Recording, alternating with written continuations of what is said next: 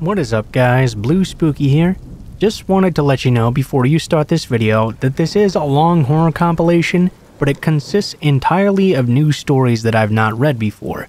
I'm going to try during the middle of the week, maybe every week or every other week, doing a long video of new stories like this and see how you guys like it.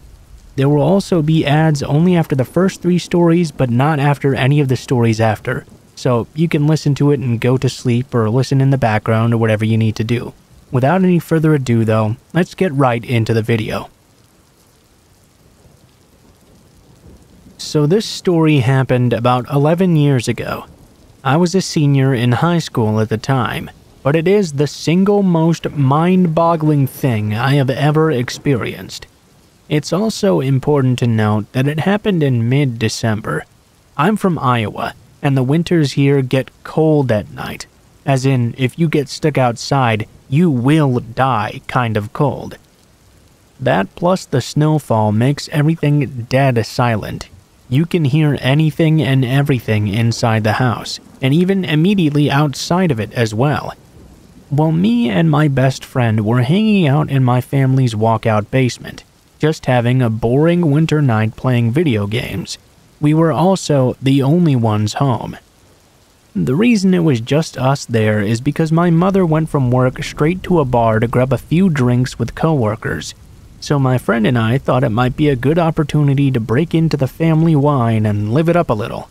As we were sitting there opening up the first bottle, I hear the door to the garage open and slam shut. I immediately go, "Oh shit," and start looking for places to hide the bottle away. My friend then says to me, Hey, I thought your mom was supposed to be out all night. I replied that she was. I then heard a few heavy stomps and heard my mother yell out, Hello? Anyone home? I yell back up the stairs. Uh, yeah, just hanging out in the basement. I hear a few more steps move from the garage door toward the stairs, and she yells out once again. Hey, uh, can you come up and help me with something? I need you up here right now. I replied back while frantically trying to find a good place to hide the wine bottle. Yeah, yeah, just give me a minute. There was silence for about 20 seconds. Is uh, anyone down there with you? She yelled back in a more serious, concerned tone, in a voice that was slightly off from my mother's. This was the very first thing that told me that something was not right. Our family never cared if anyone was over, as our house was a very open house to all family and friends. And the voice, it was just wrong as well. It sounded nearly identical to my mother's, but it was missing something I just couldn't quite put my finger on. Weirded out, I replied back, It's just Colton. After I yelled that back to her, I found a good place to hide the bottle and began walking up the steps to the next level. Now, as I was walking up them, I couldn't help but feel the overbearing silence that was now in the house, and that slightly electric twinge in the air, telling me that something was not right.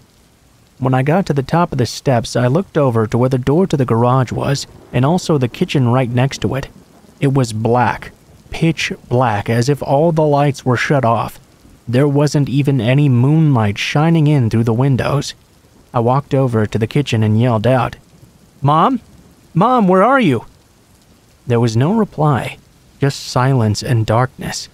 I felt that electric twinge turn into full on needles, and my adrenaline started kicking in full force. I had to get out of there as fast as possible. My mother was obviously not home. I ran back down the stairs, grabbing my coat along the way. What's wrong? Colton says. My mom's not home. I replied as fast as I could, looking for my truck keys. What do you mean? We were just talking with her. I could see the confusion in his face. There's no one home. We need to leave now. I took a few steps back toward the back door that opened up to the yard, and I saw my dog shaking on the couch, my cat growling behind it. I couldn't just leave them there. I just knew that if we left, something bad would happen. Where are we going? Are we leaving? Colton said, still confused as all hell. No, I can't leave them here all alone. Something's really off. I'm gonna call my mom and figure this out. I pulled out my phone and called my mom. She picked up immediately. Mom, were you just home? I heard you yelling for me from the second level, and when I went up, you weren't there. I said frantically, hoping she was playing a joke. No, I'm just leaving the bar. I wasn't feeling very well. Are you okay? What do you mean you heard me? I filled her in on the whole story and she rushed home. Colton and I stayed in the basement with the animals until she got home. Before she did, we could hear something upstairs. Not like walking or sitting on things, but like a weird pressure in the air, like a black hole was slowly moving from one room to the next. The word I would instinctively describe it as is hungry. When she finally got home, it was like all the tension just immediately disappeared just as quick as it came, like an overbearing predatory presence had just flown away. We still haven't figured out what the hell was going on. This is just one story of many unexplainable things that have happened to us, but this is the easiest to write down, and one that I was happy to have a witness for. My mother has since passed away now, and I've moved away to Arizona, but whenever I go back to Iowa and I see Colton, he still gets creeped out by what happened. I never truly knew what it was, but I know that whatever it was that had my mother's voice, it was evil, and it was hungry.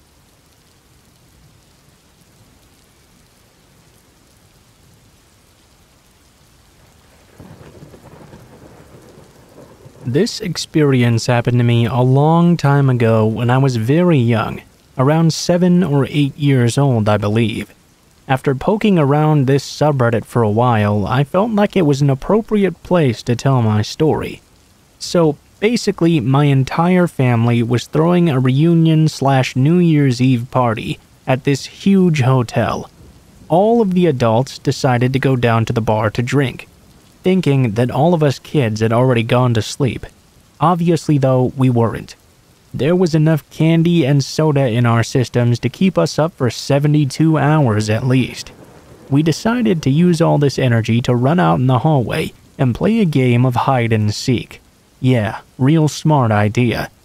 Anyway, there were six of us children, and we split up into two groups of three, each group hiding together so no one would wander off and get us all into trouble. When it was my group's turn to hide, we somehow all managed to get lost at different corners of the hotel, and being the child that I was, the thought of being lost was already frightening enough to me.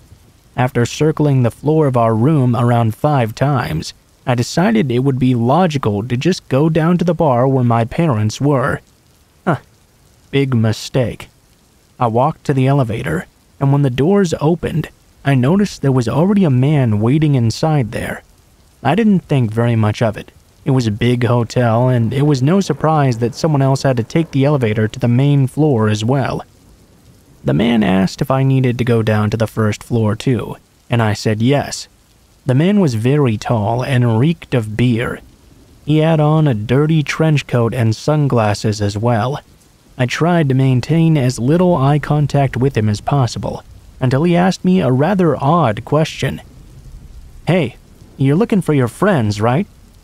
I stood there speechless, wondering how he even knew what I was doing before. You're the one who was playing hide and seek, aren't you?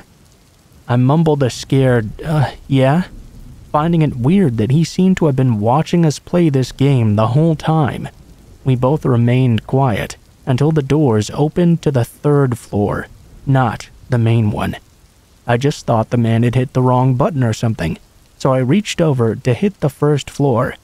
He reached for my arm and began trying to drag me out of the elevator. I immediately froze up and he whispered to me, Come on, I know where your friends are, gesturing to the dead end of the hallway where all the vending machines were located. He walked closer to me, grabbing my arm and again attempting to drag me to this isolated section of the hall. I managed to twist away and bolted to the stairs, practically screeching the entire time. I managed to reach the main floor, only to run into my entire family, including the people I had been playing hide and seek with, who had been looking for me the entire time I was with the man. Needless to say, I still get a little bit wary when I'm alone with a stranger in an elevator.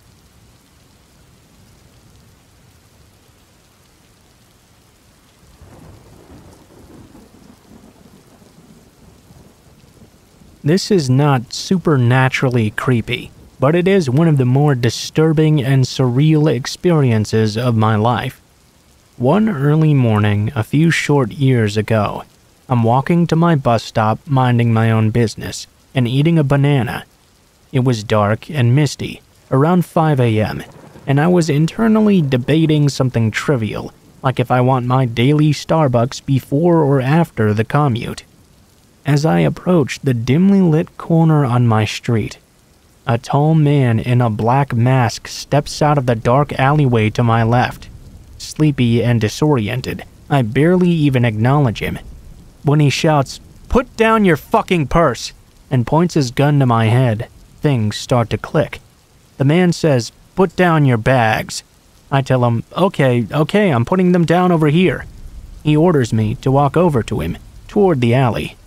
Get down on the fucking ground. I agree. I'm coming, I'm coming, okay, okay. My heart is beating a million miles a minute, and my hands still smell sticky with banana residue. I knew I needed to get away. I don't know why, but my mouth just would not stop working. Look, see, I'm on the ground, my stuff is over there. Please, just take my stuff. He apparently did not like that very much. Just shut the fuck up, okay? He gets on top of me and puts the gun to my head. At this point, I should mention the fact that I'm on my way to coach a high school practice, and I was dressed up like a dude. Huge baggy pants, hat, jacket. If not for my telltale voice, I'd look like a prepubescent 90s rap star. Anyway, as the guy gets on top of me, gun to my head, he looks at me and pauses. I can't tell you why I know this, but I swear in that moment, it clicked for him that I was a woman. He gets off me and stands up and points over to the dark alley. Come with me. My stomach hurt. I remembered there had been a recent rash of sexual assaults in my neighborhood, during the daytime no less. When the man pointed down that dirty alleyway, my internal voice spoke the fuck up. It said, Number one, there is no way in hell you are going down there without a fight. But he has a gun, you dipshit replies my internal voice too. And number two, fucking follow me. The real voice, his voice hollers. So I do what I do best. I talk. I'm coming, I'm following you, I call. The man makes a crucial mistake in this moment. He believes me. I take one, two tiny steps backward toward the sidewalk. He turns his body and his gun toward the alley. This is my moment. I take a deep breath, tuck my head down in case he starts shooting, and start sprinting away. I hear a voice screaming in a high pitched wail before I realize that it's mine. After running six or seven blocks, I head back to my apartment, hoping he's not there to see where I lived. The police check out the alleyway an hour later, but the potential attacker was long gone. The only evidence of the entire encounter was my banana peel browning in the alleyway and the adrenaline rush that I couldn't seem to shake for days on end. I would be lying if I said that the experience doesn't bother me still, but I'm so fortunate to mainly be haunted by what ifs and not the what dids.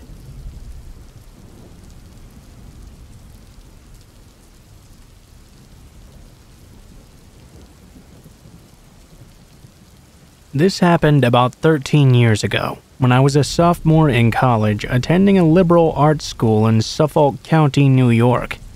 Within the first month or two of freshman year, I had found myself in a very tight knit group of fellow theater geeks. Six guys, myself included, and one girl.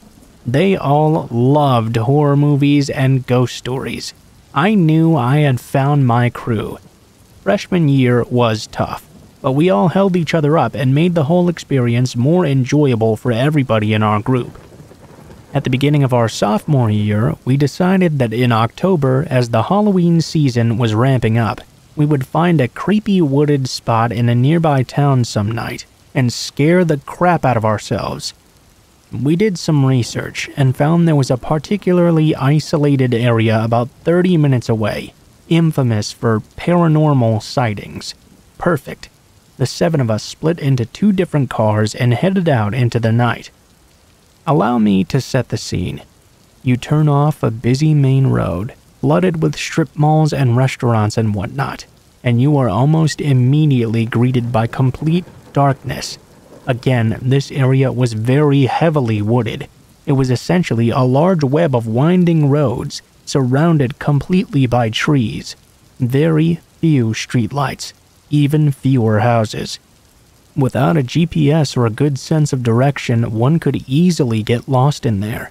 We all made sure to have fully charged phones and flashlights, just in case, but the goal was to keep driving until we collectively decided to pull over and go exploring. As per the directions, we made a left off the main road, driving for 30 or so minutes into this dark network, picking directions at random, getting intentionally lost. Our cars made this turn, and to our surprise, there was a huge log right in front of us it seemed we had reached a dead end of some kind with nothing but trees beyond this. We all got out to see what exactly this was. We stepped over the log and noticed two narrow trails leading in opposite directions. Well, now, this seemed like as good a time as any to grab our flashlights and do us some amateur ghost hunting. We flipped a coin and set off on the trail to the right. The trail was so narrow we had to walk single file to avoid getting whacked by branches. For whatever reason, I ended up being the one in the back. I'm usually pretty rational and level headed, but I have to say, the further and further we went in, the more I was overcome with this uneasy feeling. I kept hearing these sounds deep in the woods, unable to shake the feeling we were being watched. I seemed to be the only one hearing these things, though, so I shrugged it off as my imagination. And in any case, the whole point of us being there was to get scared anyway. Not to mention the fact that we were seven able bodied college students. What would we possibly come across that could take us all down? We headed down this trail for another 20 minutes, and just when I thought it would never end, we came to a massive clearing. And I mean massive. It was a large open field of unkempt grass, comparable in scope to a golf course, of course, not nearly as well manicured. Trees surrounded the entire field, which was so large we couldn't even see the end of it from where we were standing. I was thrilled to get out of that narrow trail, but I don't think any of us were expecting to find an area so vast. One of us looked off to the right and said, Hey, come check this out. We all turned, there was this old, dilapidated house, several hundred yards away. The house was completely dark, no cars or signs of anyone actually living there. We walked over and shined our flashlights at it. Sure enough, the windows and doors were all completely boarded up. I managed to peer in between the boards on one of the windows, and what I could see was an old white couch covered in plastic, but otherwise an empty room. Whoever had used to live here, they were now long gone. Because there was no way in, and because we all felt sufficiently creeped out by the house anyway, we decided to walk closer to the trail we had come in from, have a seat in the field, and figure out what to do next. We walked toward the narrow trail, but before we could sit down, my friend Mark suddenly stopped what he was doing. His expression fell immediately, and he pointed to the distance. We all turned, and on the very far side of the field, directly across from where we had come in, we could see someone, tall and lanky, dancing between the trees. And by dancing, I mean skipping around, grabbing a tree, swinging from to to fro, then doing the same to another. Basically, a dosey do. The moon was so bright and the woods so dark, it took us a second for us to really understand just what we were looking at. Jay, the six foot four skeptic of the group, wasn't seeing anything though. I leaned into him and pointed in that direction. Jay, look where I'm pointing, don't you see that? He squinted a bit, and the second he saw it, he gasped with everything he had, clutched my arm, and whispered, What the fuck is that? What happened next sent shockwaves through all of us. Whoever this was, they stopped dancing, looked in our direction, and started charging straight at us. Without even thinking, we freaked and ran back to the trail, Yet again, Jay was the only one who hadn't seen this happening, though. He shouted after us, Guys, what's happening? Where are we going? After about 15 seconds of running like hell, I heard Jay scream, Holy shit! I looked back and saw his flashlight following the rest of us into the trail. While the walk into the woods took about 20 minutes, we made it back to our two cars, hopped in, and were peeling away and closer to 5. Once we were a safe distance away, we pulled over, got out, and checked in with each other about what just happened. My heart was pounding. I knew everyone else was feeling the same way. Nearly 15 years later, we're all still friends, living in different states yet keeping in touch through marriages, divorces, children, etc. But occasionally, out of the blue, one of us will send a group text to the others with something to the effect of, In the woods back then. That really happened, right? It most certainly did. The experience is always in the back of my mind, and I'm pretty sure it always will be. Here's the thing that still resonates with me about that night, though whoever that was. They were dancing maniacally in the woods at 1 in the morning, and then they ran directly for a group of young adults, not at all phased by the fact they were severely outnumbered. Had this person known we were there from the very second we parked? Was he the source of the sounds I kept hearing as we walked on the trail? Whatever the case may be, when he came for us that night, you can be sure none of us wanted to stick around and see what a person like that was truly capable of.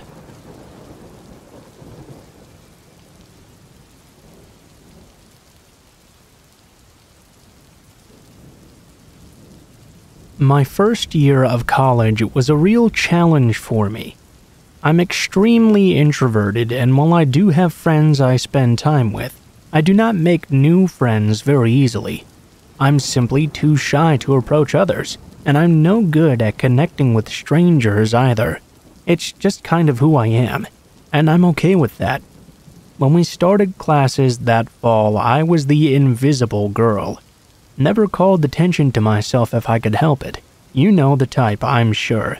There are a lot of people who specialize in invisibility. So, I didn't have a lot of friends that semester, just people I would call acquaintances. We all got along fine, but they couldn't really be called friends. Now, at this time, I was battling my own demons too. When I was 16, I was brutally raped, and by no means was I over it. It was a major factor in my life. I went to therapy regularly and was treated for major depression, extreme anxiety disorder, and PTSD. I was walking a thin line, trying to pull myself together and get on with life while at the same time feeling very isolated and therefore vulnerable around others. I avoided men whenever I could simply because I wasn't ready to let my guard down yet, and it was exhausting being on constant high alert. I was also rather paranoid. It's impossible to avoid potentially dangerous, to my paranoid mind, situations when living on campus, and being the loner I was. There were times when I simply had to walk back to my dorm in the dark, or participate in a group project with men, etc. I worked hard on my self confidence, though, and while I did eventually overcome my fears, at that time I was always on edge. I'm sure you can understand. One day I went to class in the Humanities building. Not a big deal, but the classroom was on the top floor of a tall building, and I usually rode the elevator. That elevator was slow as fuck, but still better than walking up 12 flights of stairs. With me? I get to the building, call the elevator, and wait. To my surprise, when the doors opened, I was the only one who got in. That was a relief because of my paranoia. Then it happened. The doors were closing when someone stuck a hand in the middle, and four guys got in. This wasn't good. My anxiety hit the roof and I backed myself into a corner so I felt somewhat safer. I kept telling myself it was perfectly fine. These men were ordinary guys, they weren't going to hurt me. I should try and relax. Then one of those bastards turned to me, grinned the most malicious grin, and said, There's only one girl here. Let's get her. All shit broke out. I'm sure it must have been a joke or something albeit a very disgusting one. But at the time, I didn't take it that way at all. What he said when he made that comment, It made me panic. I had my book bag full to bursting with heavy books on the ground in front of me. In complete terror, I picked it up and started wildly swinging. When the doors finally opened, there were four very surprised men either on the ground or huddling away from me, while I stood in the middle hyperventilating and still swinging away. I've never seen anyone exit an elevator that fast, and I'm not talking about me. Those guys actually stumbled over each other, trying to get away from me. It took me a long time to calm down, but in the end, it was a huge step in rebuilding my confidence. I'd been in a potentially dangerous position with those four men in that elevator, and I defended myself quite effectively. That was the beginning of reclaiming myself. And to the dudes who intentionally threatened rape, perhaps next time you pull that misogynistic shit, we'll meet again. And when we do, I'll be ready once more.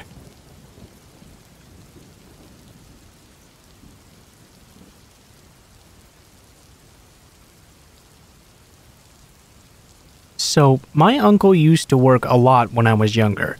He's done a lot of different things to make money, but one consistent thing is that in the summer months and into late fall, he would paint houses. It was a legitimate business and everything. He's got a truck with a number, a name, and supplies in the back. The whole works. Every now and then he would call my dad when he needed a little extra help, and I'd go work for him. No big deal, really, it's just painting houses. What could possibly go wrong? Well, turns out it takes a little while to paint a whole house. If the weather conditions aren't right, then you can't paint. One particular fall was extremely wet. It rained what felt like every single day. My uncle would paint multiple houses at a time, so sometimes he would get caught up due to situations like these, and I'd work a little more than usual. That was fine by me, though. The job wasn't hard, and it paid very well as well.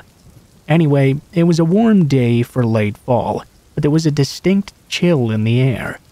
One that kind of penetrated through you and stung at your very soul.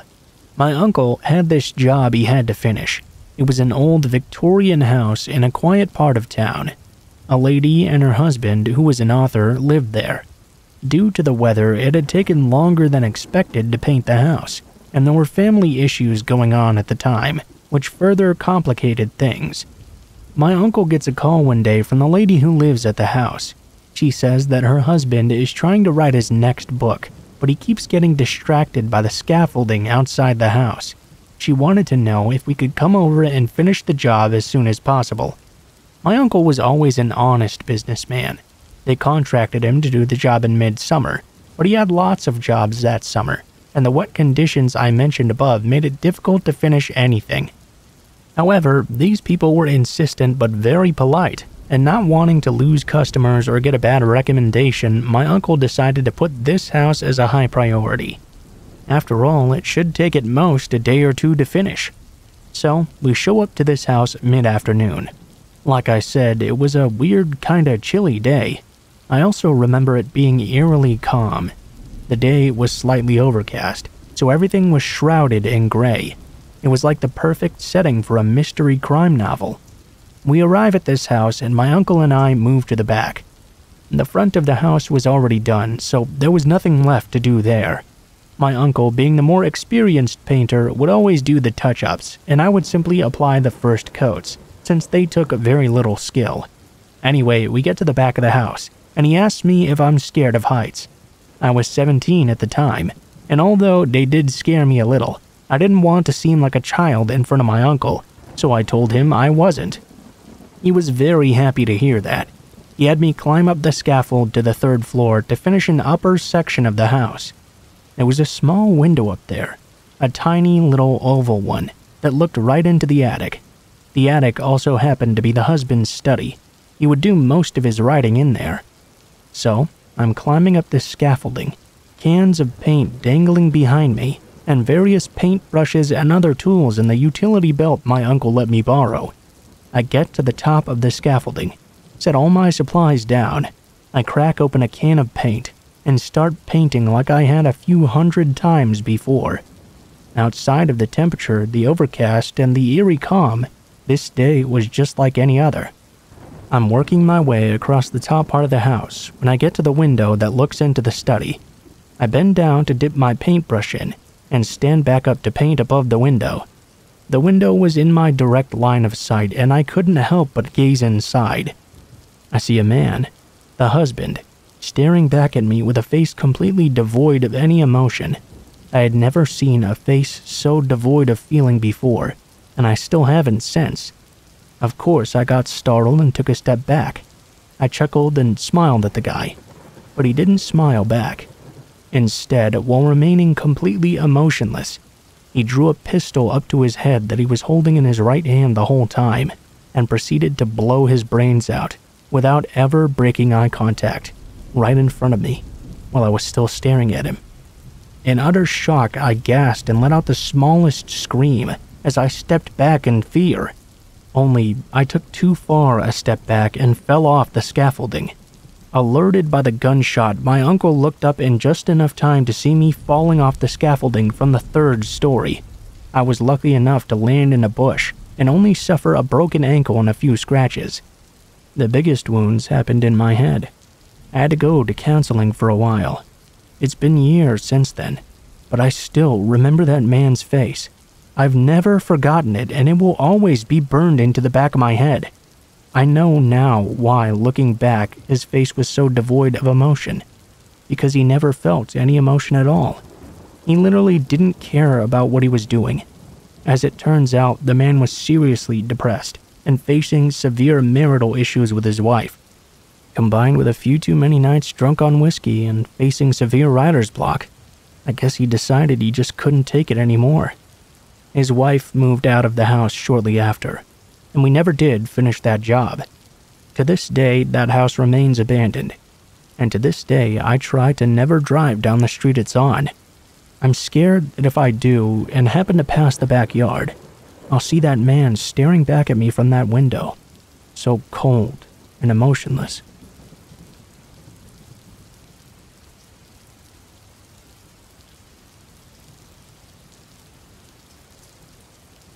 I'm a girl, and this happened when I was 20 in the early 2000s. People used landlines, and cell phones were not unlimited at the time. This happened in a town about an hour away from Sacramento. My friend was house sitting for a family that her family was friends with from church. She was to house sit in the country just out of town for a week. They had animals like cats, rabbits, a donkey, and even a horse. The family also had dogs too, but they took the family dogs with them on the trip. My friend was in charge of feeding the animals and watching the place. She didn't have to get the mail daily because they had this metal lockbox style mailbox down their long driveway. They didn't have any neighbors for miles, just fields of alfalfa, cattle, and corn, so I guess the lockbox was just for safety or something. Towards the end of the week, she asked if I wanted to spend the night and keep her company. I thought it sounded like a lot of fun, actually. I had moved out of my aunt's and uncle's and gotten my own apartment, so I told her I'd pick her up on the way there after I got out of work. We got there at around 9:30 p.m., grabbing some dinner along the way. We went into the barn first thing and fed the animals. It was a little late for their dinner, and they made their hunger well known with their animal noises. We made sure they had lots of food and water and went inside. This house was a big ranch style house, single story. The living room was to the left as you walked into the home. There was a long hallway directly to the right of the entrance that led to where the bathroom and bedrooms were. Straight ahead was a dining area, and to the left of that was the kitchen entrance and a patio door. They did not have an open floor plan. In the kitchen on the opposite side was also a long hall that had several doors as well. My friend explained to me that the wife ran a daycare center out of this house. All of these hallway rooms were play areas for the kids she would take care of.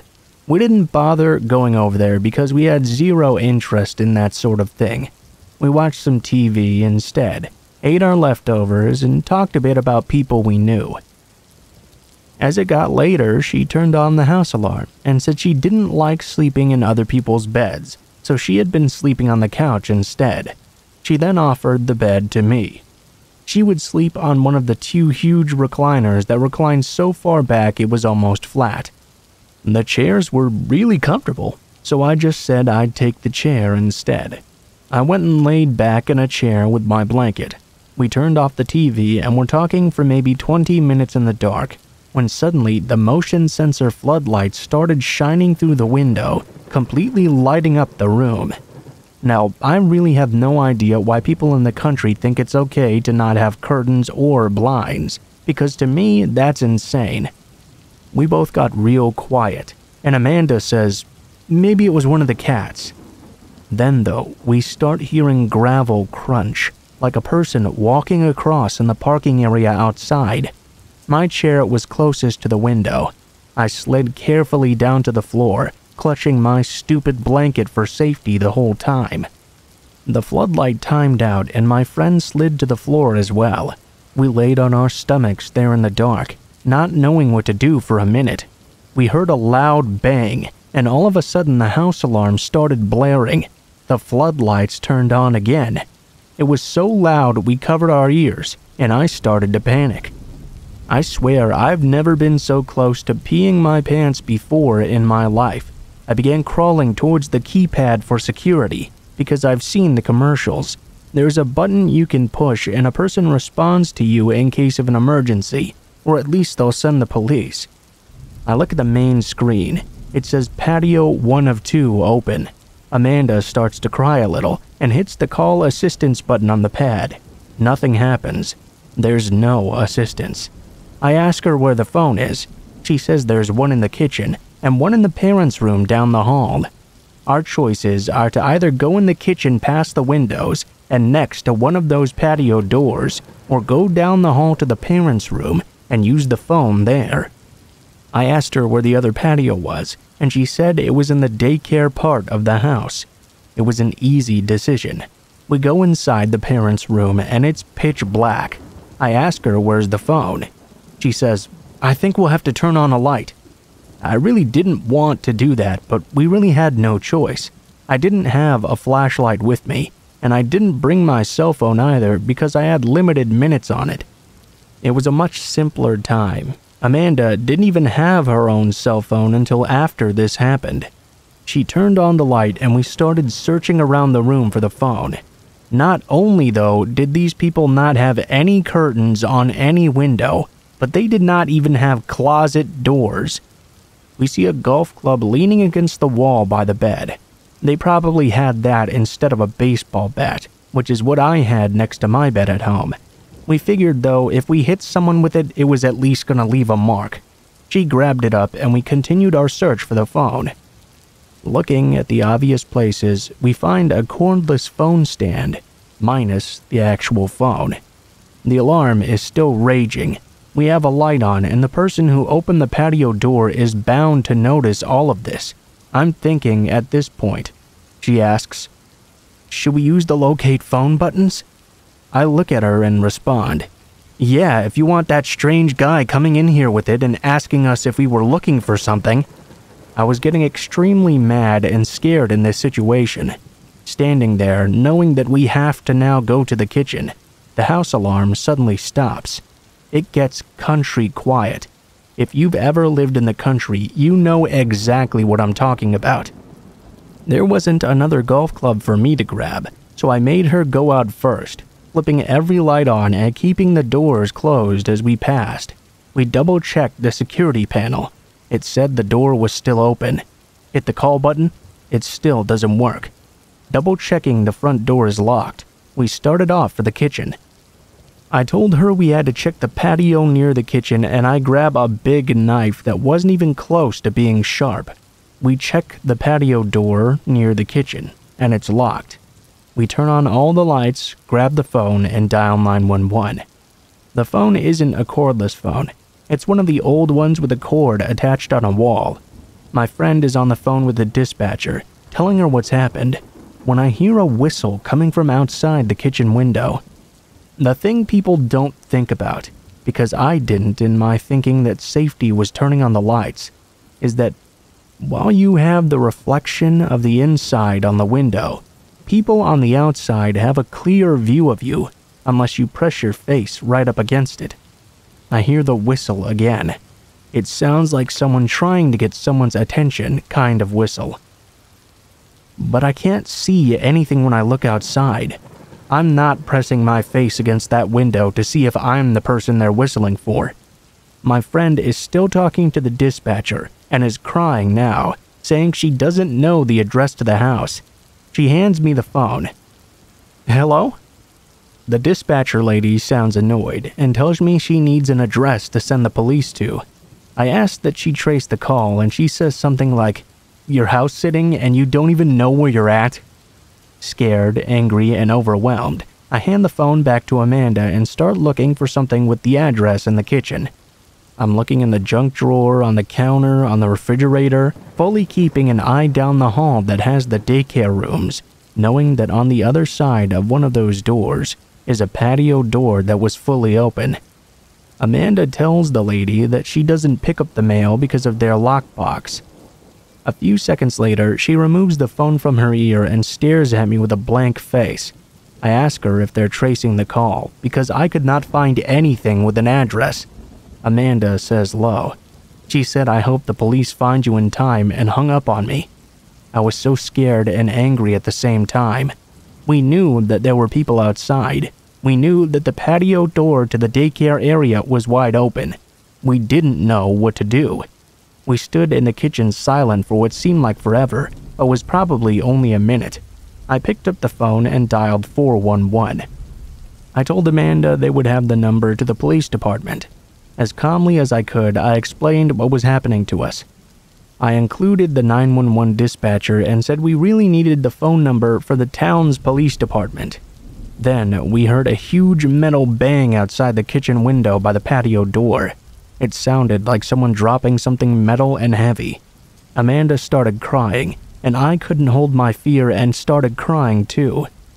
The operator said they were connecting us and would stay on the line with us after getting pissed at that 911 dispatcher on our behalf. A police officer answered the phone, and the 411 operator started explaining what was happening to the police. They were asked to disconnect once we had established a connection to the police department. The police asked a few questions, and we heard that whistling again outside. The floodlights all around the house turned on. I was too scared to look outside.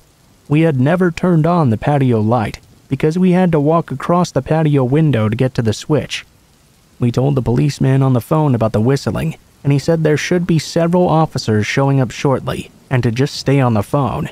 We were outside the city limits and knew it might take a while. Having an officer on the phone, though, made me feel a lot better. I was still really scared, though. He told us the police had arrived and were coming up the drive.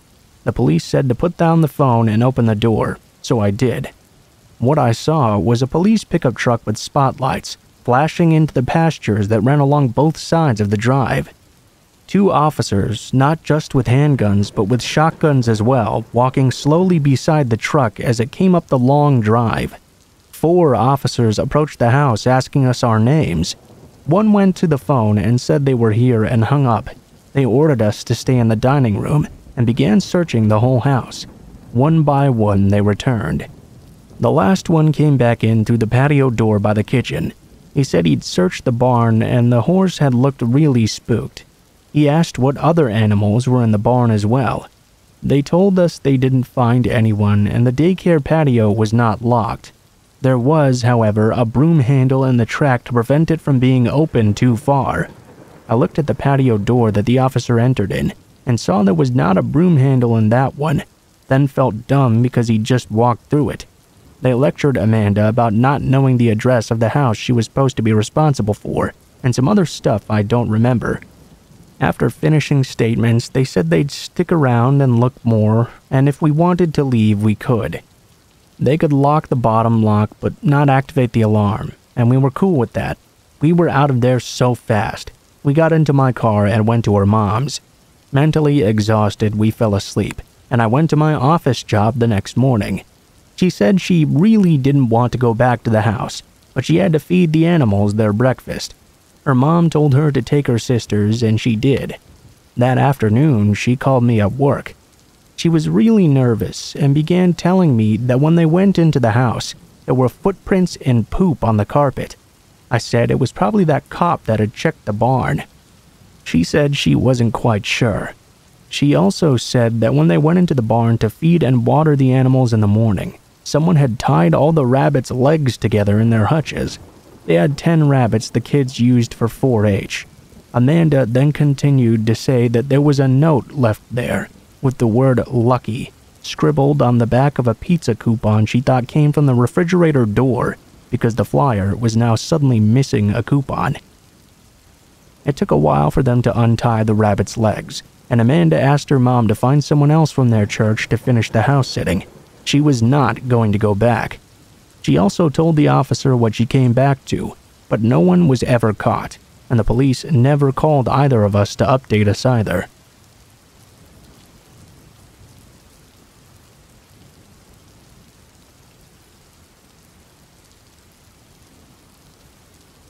I'd like to preface this by saying I was young and drunk for most of this, so my bad decision making, while it may be annoying, was not just out of pure ignorance or anything like that. I was 20 and female at an anime convention. My 21st birthday was coming up a month later, so my roommates decided to let me get shit faced, as long as I stayed in the room or left with someone I trusted. I was staying with a large group of people in one of the nicer hotel rooms there. I had been to quite a lot of conventions over the years and never really had a bad experience, outside of a few cosplay creepers and shitty people every now and then. The weekend went pretty normally, except I was drunk, and my group was throwing small parties. On the night of a particularly not so fun one, I decided to drunkenly leave the room and go roam about the main lobby. That was when I met Stephen. I have no idea how old Stephen was, but he was at least an adult, probably a bit older than me. We ran into each other at a manga table, and he mentioned how he loved the manga I was holding. I didn't really read them that much, I just liked the artwork. I'm more of an anime Andy, I still listened to him gush about the story for a few moments, though, because he seemed nice enough. I didn't really say much to him outside of, mm hmm, and yeah, that sounds really cool. I thanked him for all the info and walked away. After about an hour or so of roaming around, I decided it was about time to head back up to my room. Back in my room, I had taken two shots with my roomies and was laying on the couch when we got a knock on the door. The music and talking quieted down, as it was customary to shush when someone knocked, in case of con security coming to shut down our party. That's when my roommate answered the door and said, Veronica, she's here, come on in. Followed by silence. Then my roommate calling my name and telling me, Hey, someone's here for you.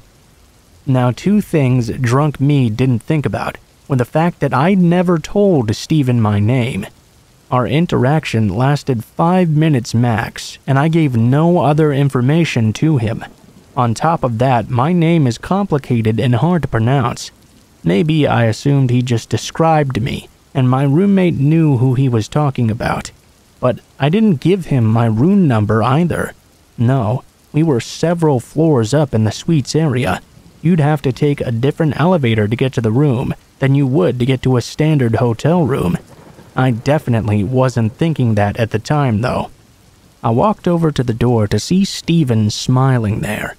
He asked me to go for a walk with him, and I drunkenly said yes.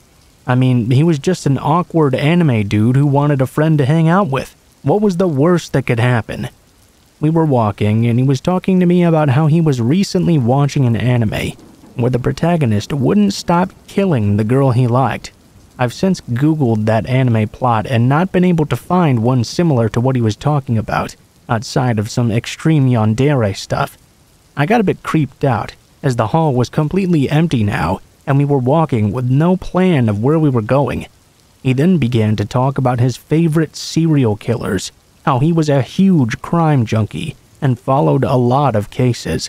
A big red flag went off in my head, and I decided it was time to try and go back to my room. Then he suddenly stopped walking, and stared right at me. I know a really cool spot we can go to. If you take the staff elevator, you can go all the way up to the top of the hotel. It's really pretty. He was suddenly breathing a little oddly, and his hands were shaking with excitement. I said no, as I still had some sense left in my drunk ass head. He then grabbed my arm as hard as he could and started pulling me, yanking me toward the staff doors. I pulled back, asking him to stop. He told me to shut up and be quiet. I yanked free of him and started running. He chased after me, yelling at me to stop. I was nearly in tears and wondering why the hallways were so empty at one of the most crowded cons I had ever seen. When I finally ran into a group of girls, they saw the fear written on my face and immediately pulled me into the midst of their group, asking me about my hair and makeup, wrapping their arms around me protectively. I was crying, telling them what was happening, and when I looked back, Stephen was already gone. I didn't see him for the rest of the con, but I stopped being so friendly at cons because of him.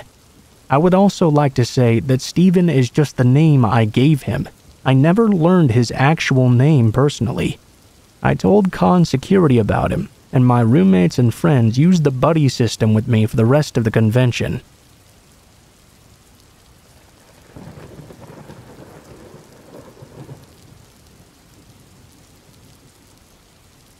When I was about 10 or 11, I was very ill and did not go to school one day. My parents both worked and couldn't get the day off either, so they told me to just stay in the house and don't answer the door for anyone. The usual stranger danger talks and all that. I was just sitting watching TV in the front room that had a big bay window that looked out onto the street, which was a main road with a row of shops just across from it. I felt awkward with all of those people just walking past, able to see right into my house, so I decided to shut the curtains slightly. For some reason, though, as I started to do this, I noticed a man in his late 40s or early 50s with a beard and glasses, wearing a green knitted jumper. He almost looked like your stereotypical child abductor. Something about him walking past my house just seemed a bit strange but not enough to play on my mind. At least until he walked past again, ten minutes later, in the same direction he had just come from, as if he had just looped around the block to come back around.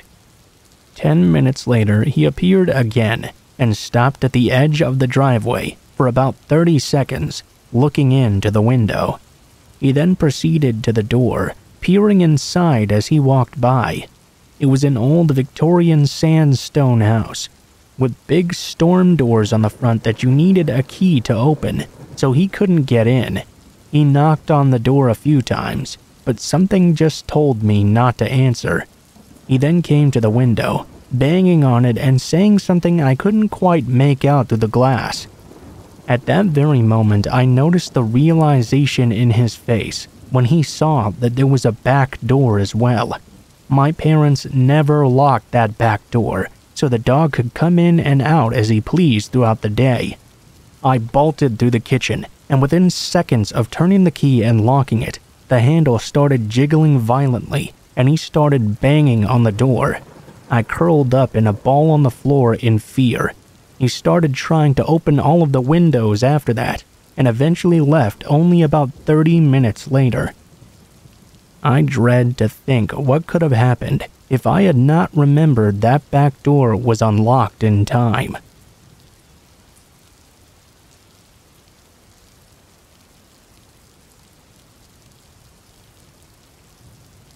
I'll be honest, I'm not 100% sure if this story is as scary as some of the other ones you've heard, seeing as I've never actually met this person, but I have nowhere else I know of that this could fit better since almost a year now. End of August 2019 to be exact. I've moved to an apartment in a different city because my mother, who I lived with in my hometown, passed away from cancer. I've moved here with my long term boyfriend and one other roommate, who's been a good friend to both of us since before we even started dating. We all absolutely love it here. The location is quite great.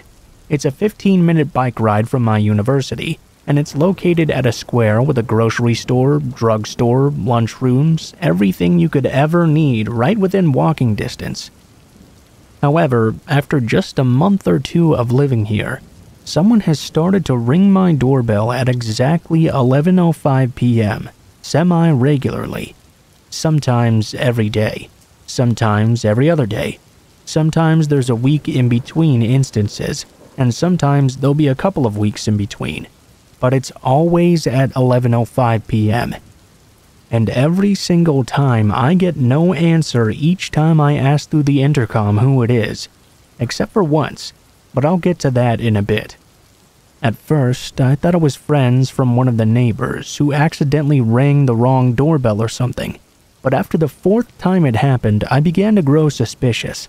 After more than those four times, I started noticing it would always happen either exactly at 11:05 p.m or sometimes a few minutes earlier or later.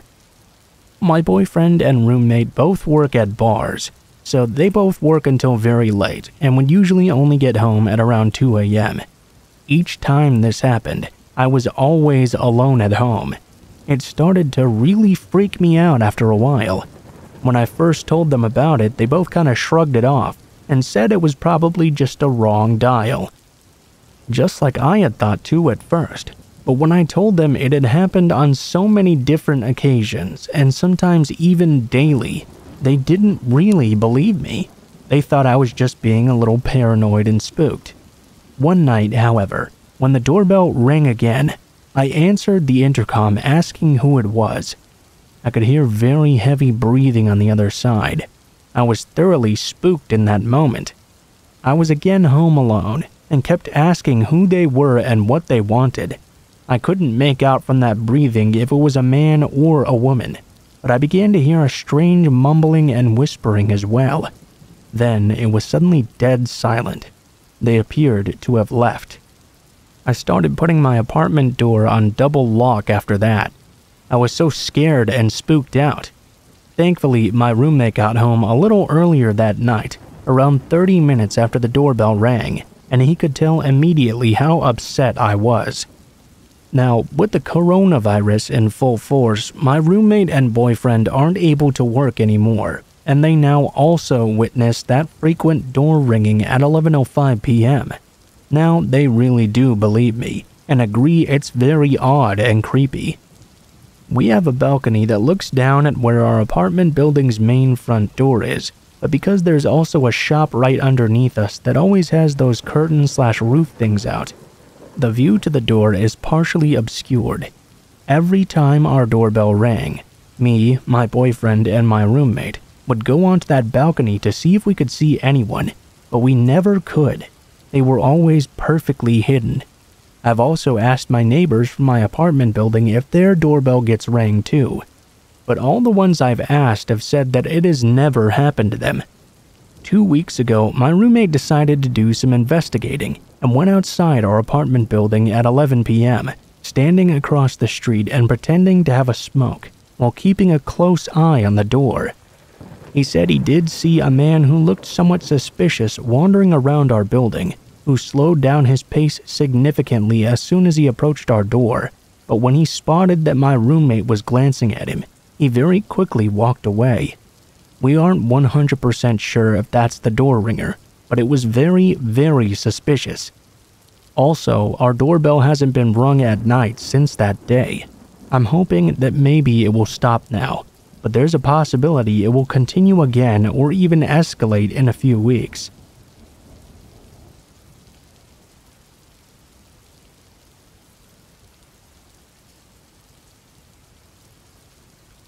Sorry for the length of this, but it is a spooky enough experience for me to write it out. While I was deployed in Kosovo, my team did a lot of night missions that required us to cover a great deal of ground in a short period of time in order to make our extractions. All of this while remaining undetected by anyone in the areas we would pass through. We would always seem to see odd things during the night, but never anything like this. During one of our recon missions, we had started by getting dropped off in a remote location to identify whether shipments of mortar rounds and mines were being moved throughout the area Our extract was going to be before daybreak, and we needed to make it just over 17 kilometers. The terrain wasn't too overgrown, and we had good intel over the area. It was either a full moon or very close to it. Of course, it would be for a story like this. So, unless we encountered somebody close by, this was going to be a pretty easy night. Our team was normally only four men, but we had the opportunity to make this a good training run for some of the new guys, so we took on an extra three people.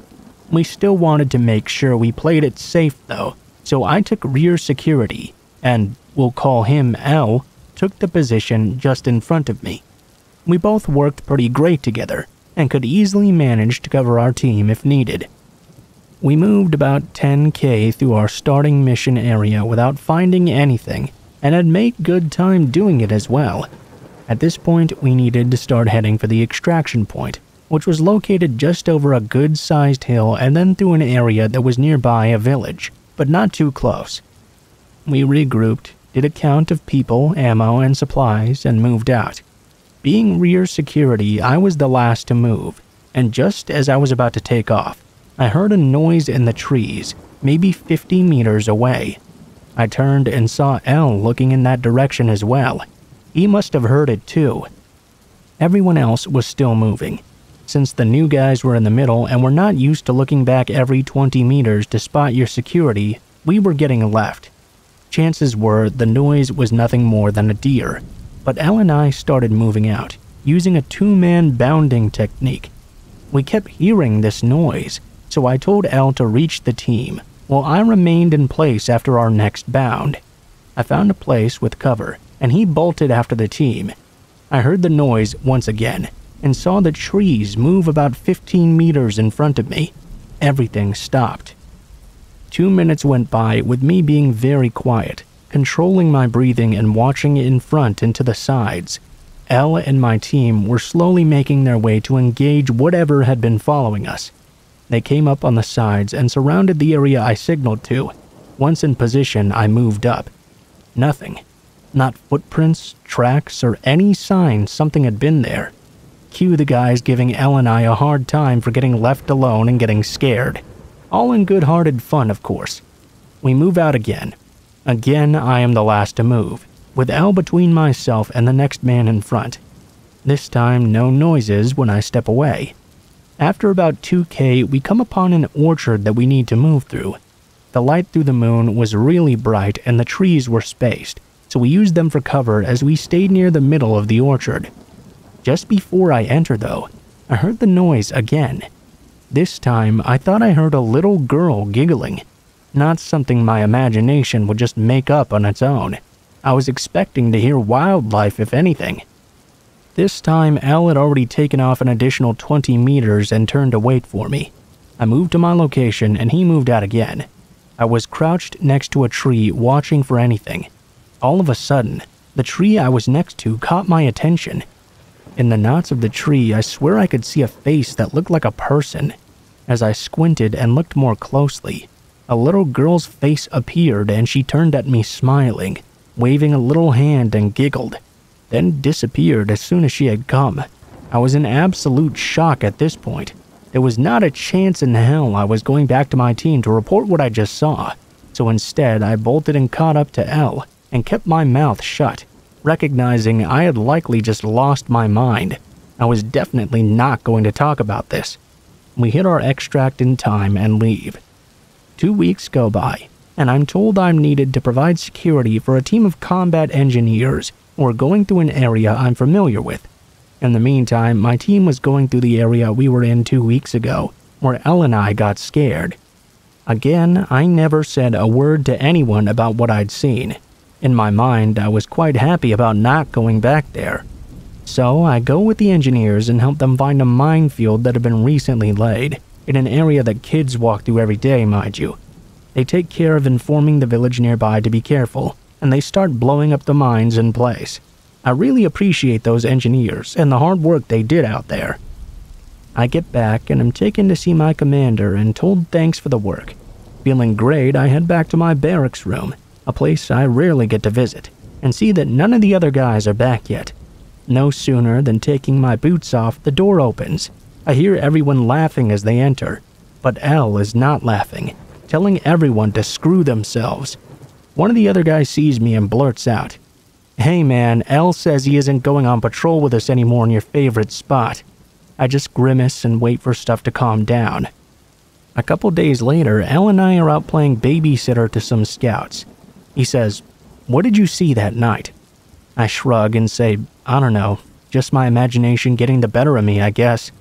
He then says something that sends chills up my spine. I know you saw her. I saw her too. Tell me I'm not crazy. You're not crazy. Where did you see her? He said. She was inside a tree. I had never given any information to L about what I saw or details that could have led him to come up with the same conclusion. When I saw that girl in the tree, L was 40 meters away from my location and could not have even seen me looking at it.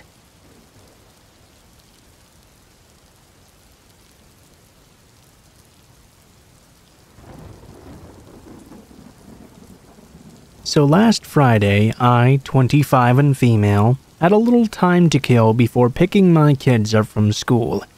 It was a gorgeous day out, so I decided to spend some time cruising some back roads in my hometown, small and rural, listening to some music.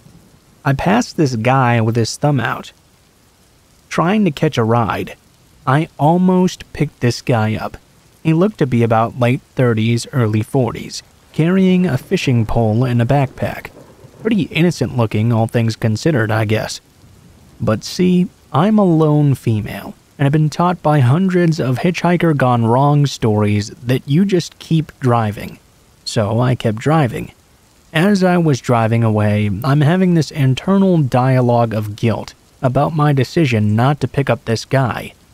You know, if I was hitchhiking, I'd hope someone would pick me up, and I mean, really, what's the worst that could happen? That mixed with my new self improvement goal of doing things that scare me as often as possible led me to the conclusion that if when I looped back around he was still walking, I would pick him up. Sure enough, about 10 minutes later, when I came back around, he was still there. I was feeling a little bit nervous pulling over and getting him, but what was I going to do? Peel out while he was trying to get in my vehicle? As soon as he hopped in, I realized I'd probably made a really horrible mistake, though. One, because he seemed like he was tweaking balls and smelled god awful. And two, because this dude was looking at me like I was a feast and he was starved. I didn't realize exactly how rattled I was with my decision until he asked me for a smoke. My hands were shaking so badly I could barely even pull one out of my pack without breaking it. Driving made it easier to hide my nerves, but I was internally freaking out and trying to decide how to beat this guy's ass if he tried anything. Turned out his name was Wayne, and he lived about five minutes from where I picked him up. Meanwhile, he's telling me how he lost his license due to DUIs, and he's living in his house with an old man. He tried to get him to come with him, but he didn't want to come, etc. He's also trying to sweet talk me into hanging out at said house with him and come over and drink with him the next day.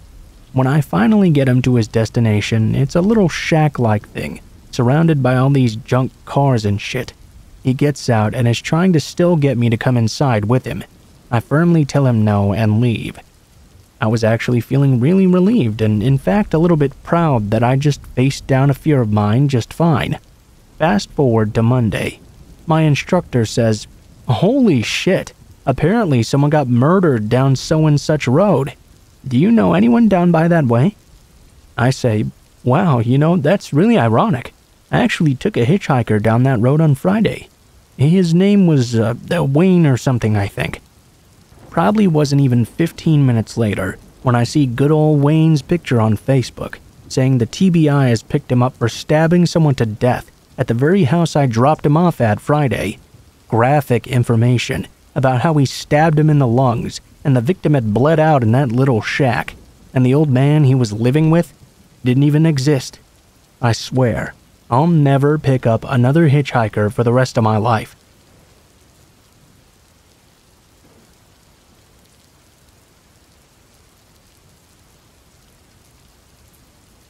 A little bit over a year ago, I had a job working overnight at a gas station, quite close by to my house. I'm a woman and was 31 at the time.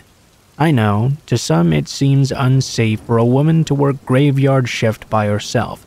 However, it was a very slow store, and the sheriff's office was only about 20 feet across from it. I really didn't think I would have that many problems. There would be about 30 customers in an 8 hour shift or so, and that was on a busier night. This night it was about 3:30 in the morning. I went outside to sweep the parking lot and do a last minute check of the trash. It was about time for a cigarette. I had one headphone in, kinda jamming out. Across the road, in the parking lot of the sheriff's office, I saw a figure with his back to me. He was swaying back and forth while looking down. Honestly, it kinda looked like he was enjoying a much needed piss. Against the sheriff's office, though? Yeah, the building closed at 4 p.m. and didn't open again until 6 the next morning, but like, why? By the back of his ripped white t shirt, I remembered that he had come in about four hours earlier. He had been a total creep, and I could tell he already had a good buzz going. I didn't say anything. I just took my eyes off him and tried not to draw attention to myself. It was working until a car pulled in. I was still outside as they pulled up. I saw him look over to the car, then look at me, then back and forth again. As the customer was leaving, I walked her outside. I still had half a smoke burning and had left my dustpan outside with the squeegee. We both heard him start to swear angrily and seemingly begin to engage in an argument with himself. She looked across the road and told me to be careful. I made an awkward joke about him being the one who should be more afraid of me, or something like that. The man was still there, but now closer to the road facing the parking lot of my store. Whatever he was yelling was completely unintelligible. He was obviously very drunk and could barely even stand straight, still swaying away. I didn't engage him, but I didn't take my eyes off him this time either. I just slowly backed into the store. Something about his face really bothered me. It had a darkness to it, but his eyes looked completely wild, my experience during graveyard jobs has been that the crazy eyed ones are always the worst offenders. I didn't like it at all and wanted no part of it. I still had almost three hours to go, and two before any other employees would arrive. I instantly went to the computer and typed up a temporarily closed sign just in case he wanted some trouble. I was coming around the counter on my way to the doors when I saw he'd walked across the road in the meantime and was now on my side now. I literally just barely got the second door locked when he stumbled into our very small parking lot. My hand mimed the signal for cut across my neck, basically telling him, Nope, sorry, can't come in here, we're closed. I shook my head back and forth too, hoping to further discourage him. He started walking away, but screamed something at me while he was walking. I don't mean he was grumpy and shouted at me, or yelled that I was an asshole or something like that. He was completely enraged and violently throwing hands at invisible enemies everywhere. Definitely knowing I was in the wrong shift of the wrong job, I got really skeeved out. I decided to call the cops. It's a good thing I did at that moment, too, because the very minute I hung up with them, here he comes again up to the door. He starts pulling and banging on it. He backs up and runs into it, trying to slam it. Not that it would have done any good. I made the mistake of telling him I'd called the cops and his ass was about to be grass. I say I made the mistake of telling him because once I said that, he took off immediately. The police never found him. They drove across the road and around the surrounding neighborhoods for over an hour, but found no one. He was on foot, so I really don't know where he could have gone to in such a short time. He didn't harm me, and with them not finding him, I didn't fill out a police report or anything. I was safe behind thick glass doors that were locked for the rest of my shift. It just sucked, though.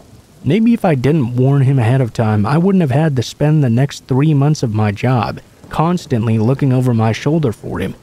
I'll never know what the right choice in that moment was. I'm just glad I made the right choice and don't work there anymore.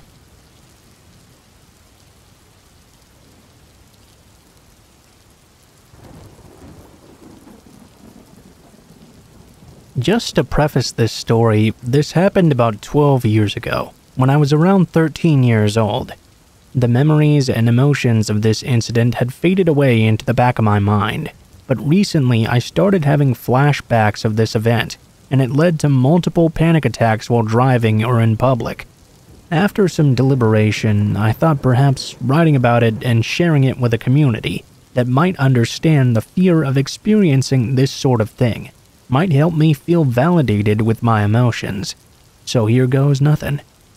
I was a 13 year old living abroad when this happened.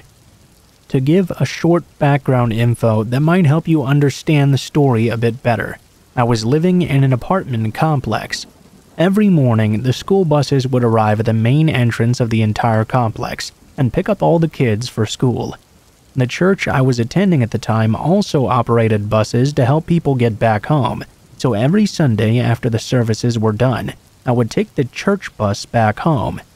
I never doubted my sense of security and safeness, since this kind of system made me feel very safe and protected. That was until I met him on one fateful Sunday morning. I was a church kid, quite the involved one, too. I was serving the youth group as a part of the welcome team for newcomers when I first met him. He entered the chapel with his mother following behind, and she explained that they had recently moved to the country and were just starting to settle down. My first impression of him was that he was very lanky, shy, and very quiet. He seemed so harmless, innocent, naive. So when his mother left him after filling out the form, I gave him a smile, greeted him, led him to an empty seat, and thought nothing more of him until I saw him again in my small group. So I greeted him again, saying something like, So nice to see you again. I still remember how he just shyly nodded, not really answering me. When the small group time ended, I took out a Hi-Chew, a Korean soft candy, and gave one to everyone in the group, even the teacher. As I handed that rectangular candy to him, he softly whispered, Thank you, and walked away. It was the first time I'd ever heard him speak. I hadn't realized that he was living in the same complex as me until I got off the church bus and saw him coming down the steps of the bus as well. It was quite the funny coincidence, so I told him how weird it was that we were in the same small group and living in the same complex. He nodded again, and I walked off first because he was waiting for his mom and little sister who were coming behind him. My apartment was number 20, the first in the row of buildings. I had opened the door and was about to go in when he followed behind me. Me, still in that newcomer greeting mode, responded to this by asking him if he was living in the same apartment building as well. He nodded again. I noticed that his mother and sister were not here yet, so I got into the elevator first. I asked him if he was going to wait for them. I gave him my goodbye when he quietly nodded yes. Next morning, I saw him waiting in the lobby when I got out of the elevator. He was alone, and I asked him if he was waiting for his sister. He nodded, so I gave him a quick, have a nice day, and ran off so I wouldn't miss my school bus. For every day of that week, I saw him waiting for his sister in the lobby, standing in the corner right in front of the elevators. I really didn't think very much of it. I would always say hi or good morning to him, and he would always just nod or wave back timidly. There was nothing more to it than that. That is, until one Sunday, when I got back home after church. He was walking along behind me, this time together with his sister and mom, so I thought I would be a nice girl and hold the door open for them. I waited, holding the door open, only to have all three of them walk right past my building. How strange, I thought so I peeked my head out to see what building they were entering. Number 15, which was five buildings down the street. At first, I didn't think too much of it, thinking they might have just moved out of Building 20 and into Building 15 recently. But when I stepped out of the elevator the very next morning to see him again in the lobby in the same corner he would stand in every morning, my heart sank deep. I don't know how I responded to it, but I remember choosing not to confront him because I was in denial that this was actually happening and didn't have the courage to ask him for an answer. Things very quickly progressed after that day. I started getting these late night calls on my cell phone. The typical not going to speak but just going to breathe heavily kind of call you get that makes you feel insecure even though you know you're safe in your room. He also stopped waiting for me in the lobby after that morning, but would stand on the far corner of the street every day and watch me wait for and get on the bus. Me becoming hyper vigilant of this didn't help the situation either. I could always spot him watching me, even though he would often try and hide behind a tree or the guard's cabin or something. It made me feel sick to my stomach, but I don't think I felt so threatened and cornered to the point that I wanted to seek adult help, at least yet. I was a very, very private teenager who was already keeping some traumatic experiences a secret from my parents, so naturally, this felt like another secret I would have to keep so they wouldn't worry about me. At church, I kept up my bright facade but would distance myself as far as possible to avoid any sort of contact with him. I actively put this distance between him and me because whenever I decided to play by my facade and say hi to him, instead of returning my greetings, he would stare into my face, then drop his gaze to my private areas. The fact that it was summer and I was wearing shorts did not help at all whenever he stared at my thighs and between my legs. The shame, the embarrassment, the feeling I was being dirtied by his very gaze. The anxiety and paranoia was getting too much for me. I started to skip the small group session and left right after the youth group ended so I would avoid getting home with him at the same time. On days that I did happen to attend small group, I just sat quietly, unwilling to speak a single word, while he stared intensely at me the whole time. One day, while the teacher was leading the discussion, he suddenly burst into an angry yell, shouting, Why do you keep ignoring me when you clearly know I like you? Needless to say, I was embarrassed, ashamed, shocked, and terrified at the same time. The teacher tried to de escalate the situation, but he stormed out after yelling about how frustrated he was with me for not returning his affections. I wanted to leave as well, but the fear that I might run into him made me stay in my seat while everyone in the group quietly whispered among themselves about this sudden drama that happened before them. It was actually a huge shock to me that he was doing all these things just because he liked me. But what shook me more in that moment was the fact that the teacher didn't seem phased at all by this sudden outburst. She also didn't seem surprised by the fact he had such feelings for me. Instead, she casted glances at me with this sort of knowing look in her eyes I had always wondered how he got a hold of my phone number. This was it. The teacher dismissed everyone, but asked me to stay. I was always the model student at church, but the moment I was left alone with her, I lost it. I cursed and swore and demanded her to tell me what she knew, if she knew how much he was making my life miserable. She told me she knew he liked me, Apparently, he started liking me because of that stupid ass candy I gave him on the very first day. She had given him my number because she thought it was cute seeing him crush on me so much. So I told her everything he had been doing, how he waited for me every morning in the lobby, even though he lived in a different building, how he would stare at me and watch me from the corners of streets, how he would stare at my thighs and my chest, call me late at night with the heavy breathing and all I was having trouble speaking and breathing because of how much I was crying, but I remember yelling, He's like a fucking stalker! And that's when I fully recognized that I was really being stalked.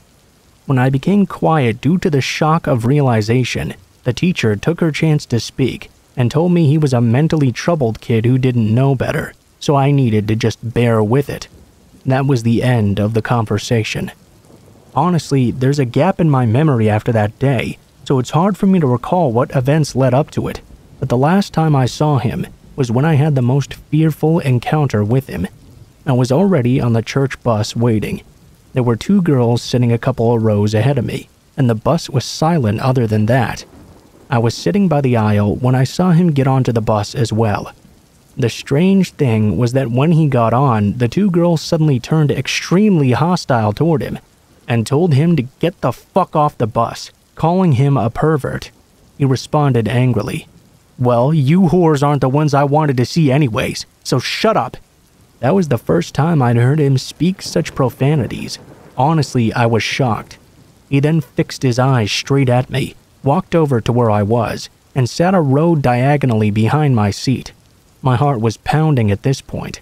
I wanted to sit by the windows to hide from his gaze, but I was scared that he would think of it as an invitation to sit next to me. I stayed frozen in my seat until more people came in, and only moved to the window seat when an adult asked if they could sit next to me. I think there was an instinctive feeling that told me I could not get off together with him off that bus, so I purposefully got off at the stop before my apartment. It was only a 600 meter walk from the bus stop to my home, so I mixed in with the people and got off the bus with them. The bus had stopped by the side entrance of another apartment complex. I just needed to walk down the street to get to mine, but this street was empty and deserted. It was one of those areas waiting to be developed by the city. I started walking towards my home when I realized that he was now following behind me. He was walking just a few feet behind. My gut wrenched as he got closer and closer. Something told me that being alone with him on this street was dangerous, so I broke into a run until I saw an alleyway that parted off from the road. In my panic, I turned into the alley and was relieved when I saw that there were some smaller shops that were still busy with people. There were also people just hanging out in this alleyway, chilling by the benches outside and stuff. I was certain he couldn't have followed me into the alley after I'd run, but I still looked behind to check in case. There he was, still following me. He had sprinted after me. My relief quickly turned into terror, and I hastened my pace, purposefully weaving in between the people in hopes of losing him. But whenever I looked back, he was getting closer and closer. Eventually, the people hanging by the shops thinned out, and I was now walking in an empty alleyway. On the opposite side of the alley, I could see there was a bigger road with more cars and people. I was already quite out of breath, as I wasn't a fit person, but with the last of my strength, I ran for that busy road, hoping to lose him if he was still behind me. I stopped once I reached it and turned around to look into an empty alley. I stood for an extra minute staring into it to confirm he wasn't still following me. Fortunately, my friend's house was close by, so I stayed at her place until I felt it was safe enough to walk back home. That was the last time I saw him. I stopped going to the small groups. I started serving children's department as an accompanist so I could avoid going to the youth group altogether. I didn't see him again after that, but one time I happened to meet my small group teacher, and she told me he had left the country. Apparently, he was reported multiple times at school for lewd behavior, such as sneaking into the girls' restroom, which was why the girls on the bus were so grossed out by him. In the end, he had to be expelled from the school. I think that was when I decided to bury the fear and terror away, because he was no longer an immediate threat on my life. Funny story though. After the whole incident, I had to watch Ferris Bueller's Day Off at school, but the moment Ferris's friend Cameron Fry showed up on screen, I had to run to the bathroom and throw up because the actor's face looked exactly like him, and just watching that face brought back all the trauma. Anyway, if anyone has made it to the end of this, Thank you for staying through this with me. I often wonder at night what might have become of him, and wonder if his parents knew what their son was. If he was truly suffering from mental illness, my only hope is that he received the proper treatment so no one else ever had to go through what I had to.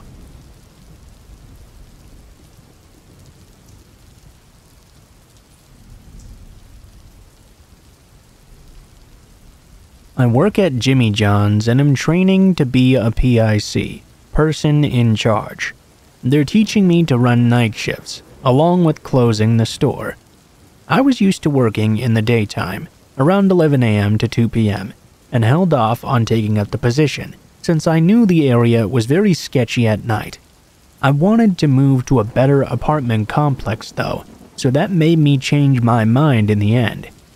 Normally, we have a male driver who stays after close until I and my coworker who's training me, Anna, leave. But tonight he called out sick and didn't have the chance to get his shift covered. Mind you, when the area manager, not Hannah, was talking to me about taking this position, he told me about the area being sketchy and how I'll always have a male to make sure I'm safe. He, however, claimed the most that would happen is being harassed by a homeless person or something. After I heard our male driver wasn't coming after all, I just had a gut feeling that something bad was going to happen tonight. After 9 p.m., our store gets maybe one or two customers before it closes at around 10. Usually, we lock the doors at this time, but this time we forgot. This comes into play later, but no, no one came in to bother us. The shift goes by as usual. We're running a little bit late since we're missing a coworker, but it was pretty much all good in the hood. We gather all our trash bags, boxes, a bucket with a lot of trash, and put them outside. We were planning on putting the bags and shit in our trunks to take to the dumpster a few stores away. I can't really describe this very well, but our store is part of three other stores in the same building. There's a little straight walkway, and as you go on it, you pass by the other storefronts. Ours is on the far end, furthest away from the dumpster. It's within walking distance, but again, the bags, boxes, and bucket were a lot to drag with us. When we place our stuff out there, we see a guy standing by a column in front of our store. I immediately got a bad feeling again and shook my head at Hannah. Hannah said something along the lines of, Hey, to which he mumbled, Hi, or something back with an off putting smile. He looked like he was on drugs, which wasn't that uncommon around here. Anna put her bags down outside the store and went to lock the door, then came out to lock the second door from the outside, now closer to me. We go to grab our trash, she puts hers in the trunk while I keep glancing over at this dude. He's now mumbling something to me. I can't even tell you what he said. Maybe something like nice store or something? He tried to open the front door, but of course it was now locked. I mean, you just watched us lock it, you crackhead. What the fuck? I throw the trash into my back seat. Anna starts to pull away when I gesture to her to stop since I felt uncomfortable being left alone with him and my car's door was frozen shut. I open the front passenger's door and get in with my trash, lock the door quickly, and gesture to her that I'm okay. I crawl into the driver's seat and drive the short way to the dumpster trash thing. She's closer to the dump and puts her trash in. I grab the box, bag, and bucket out of my car and throw the bucket, keeping track of where the creeper dude is. I don't see him now, though. I grab the trash bag and box when I suddenly see him sprinting down the pathway in front of the stores while crouching. I panic. He's close enough to where he'd be next to me in less than 10 seconds.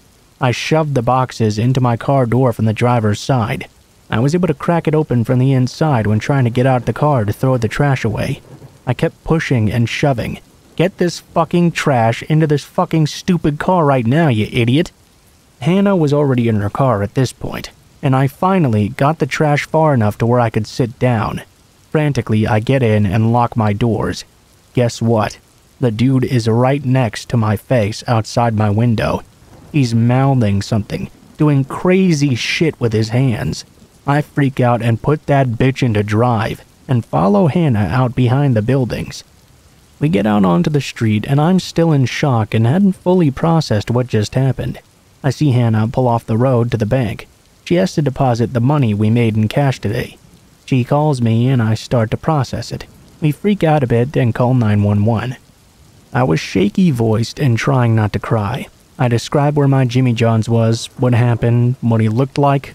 Mind you, I'm still in shock a bit, so I told the dispatcher I wasn't fully sure. He's white, wearing a black hoodie with his hood on, dark pants, I think, light eyes, maybe blue or green. I described all that happened, and she sent the police to check it out. After the call, I felt hopeless. She had an awkward end to it, and I didn't feel very reassured. I told her to have a good night after some awkward silence, and she hung up on me. I have anxiety. It used to be a lot worse, but it was finally hitting me now. What was that guy's goal, and what was he on? Did he have any weapons? I didn't see any, but if he got to me, would he have used them? Maybe he just wanted my car or something. But why would he crouch run to steal my car when I was less than 10 feet away from it? I finally get home and panic on the way in. I get in, hear my puppy barking, and panic more. I cried and choked and tried to catch my breath for an hour. I had to pee. I had to shower, and I couldn't. I was feeling so overwhelmed. Anna texts and asks if I'm okay, says we'll talk to our manager, and so on. She didn't even know the guy had made it to my window. I told my brother, who is at a house party, what happened. He promises to come when I close to protect me from now on. He does jujitsu and practices self defense a lot, but he stays at the party. Turns out our store doesn't have cameras. Fuck me. Why would our manager think it's okay to let Hannah and I close by ourselves? I was told we'd always have a guy with us. Of course, this shit happens the one time we didn't have one. I don't know what our manager can tell me to comfort me about this situation. I just hope she lets my brother stay in the restaurant to protect us. Otherwise, I'm not sure I can work here anymore.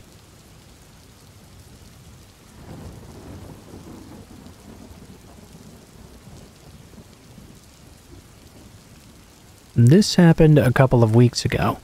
I live in a major city. My street is a narrow one way. Cars can parallel park on one side, and the street can fit about 30 of them. I'm outside my door, which is right at the end of the street, smoking a cigarette before bed. I'm looking across the street when to my right I notice something right out of the corner of my eye, behind one of the parked cars way down. It was just a small movement. I really didn't get a good look, so I kept on smoking. When after a couple of seconds I saw it once again. This time it looked like someone had just ducked down behind the car. The street was well lit, but it was hard to see because there were maybe 25 or so cars, and the movement had been so fast. Just about three seconds from them, I see a head pop up from the car in front of the last one I just saw. It was very clearly a head. Then it ducked down again. Before I even knew it, it had popped up in front of that car and was still now. Whoever it was knew that I had just seen him. He ducked again, in a flash, he was popping his head up from the next car in front, getting closer to me now. He definitely knew I had seen him. He was moving really fast. Not like supernaturally fast or anything, but very quickly. Up until this point, I was curious, but now I was feeling a bit uneasy and afraid. I'm 5 foot 11 and 185 pounds and do work out, but I can't even remember the last fight I've been in. It was so creepy. Now he was only six car lengths away, and I could see him clearly. He was staring at me. He looked fairly normal, bigger than me even, and had glasses on. He ducked down behind the cars again. I almost pissed myself. I sprinted into my house and closed the door, and looked out through the peephole. I could only see one car and half of another one. I could just imagine the guy ducking down and scurrying to the next one, popping up again. I was just about to stop looking when he popped up right from behind the car parked in front of my house. He definitely could not see me. I had no lights on in the hallway outside or inside. He just stood there, though, staring straight at where I was. He looked like he was mad about something. He took his glasses off and wiped them, then stuck them in his pocket, I think. I couldn't see his lower half, but it looked like he was wearing a long coat. Somehow it seemed like he was staring through the door directly at me. For a moment it looked like he was going to walk, and I was hoping he was not going to come around the car and up to my front door. Then he ducked down out of sight once again. I was pretty freaked out at this point. I stood at that door until 3:25 a.m., listening and looking for him. Then I tried to go to bed and was awake, listening for a long while.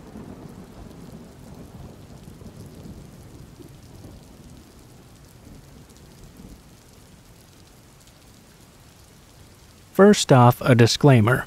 I'm no longer active on OKCupid. This was 2015. I wasn't really actively looking, but I would pop on OKCupid every few weeks to see if anything interesting was in my inbox. Being female, I had a very active inbox. Sorry to all you guys out there. I noticed an email from an interesting, fairly local guy. Email was alright, asking about polyamory, which I don't mind talking about if the person is sincerely interested and respectful. We got to chatting. I had zero romantic or sexual interest, but I thought this could be an alright friendship. After a few months of chatting, he found me on the Book of Faces and asked if it was okay to send a friend request. I agreed. We had been chatting, getting along very well, and he seemed like a nice person. A little bit weird, but that's okay. I'm a little bit weird myself. No big deal. We continued to chat here and there for about two years or so, sending birthday greetings, just a very casual friendship. He had asked to meet several times and hang out. I'd considered it, but at the time I was running my own business and working upward of 70 hours a week, plus maintaining my own home. I was also raising my younger child and trying to balance two partners and an extremely needing, demanding, workaholic client who had no boundaries.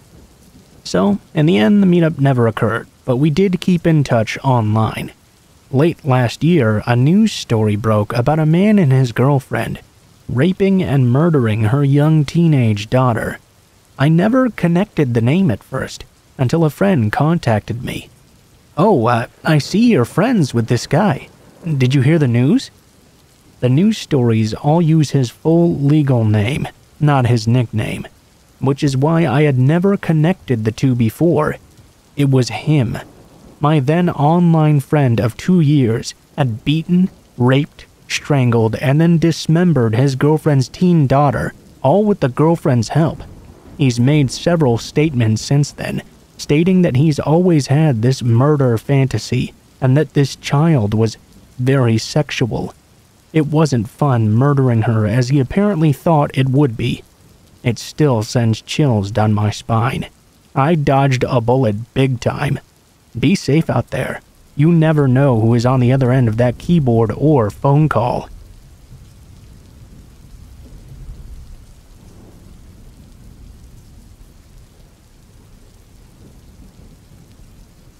A friend of mine and I were driving home from high school one afternoon when we came up to a red light at a main intersection. The left turn light turned green, and my friend accelerated, maybe perhaps a bit too quickly as his tires peeled out a bit. Suddenly, the green pickup truck behind us speeds up next to us on our left. The driver was a scary looking bald man that was very clearly yelling at us, even though the window was rolled up. Unfortunately, we got stuck at another red light. I alerted my friend as the truck driver pulled up right next to us again at the light. On the other side this time, the driver motions to us to roll down our window. We tried to decline as politely as possible. That's when he makes a gun with his hand and points it at us. He then points it at his head and pulls the trigger. He started making moves towards his glove box just as the light turned green we both looked at each other with looks of terror. My friend guns it as we both scream. The truck peels out towards us, clearly tailing us right on our ass.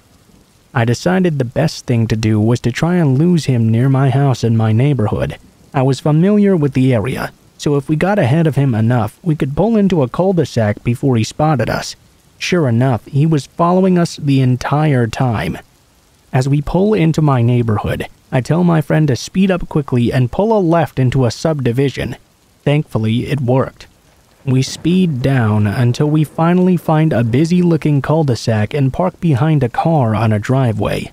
We lay low and see the truck drive by multiple times by the street we chose to hide in.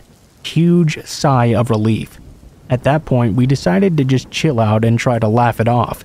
We don't know what could have happened. We ended up calling the police, though, and meeting up with an officer to make sure we could get home safe and sound.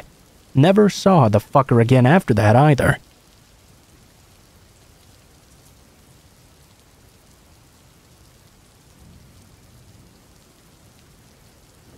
I used to work as a cleaner at my school after class, so by the time I left, the roads were pretty quiet, as everyone had already walked home. One day, as I was returning, I noticed a man walking behind me. Not too close, but very obviously following me. He was quite creepy. His face almost looked like it was completely made of plastic, and he had this really subtle smile. Anyway, the first time I saw him, I thought nothing of it. About two weeks later, though, I noticed him again.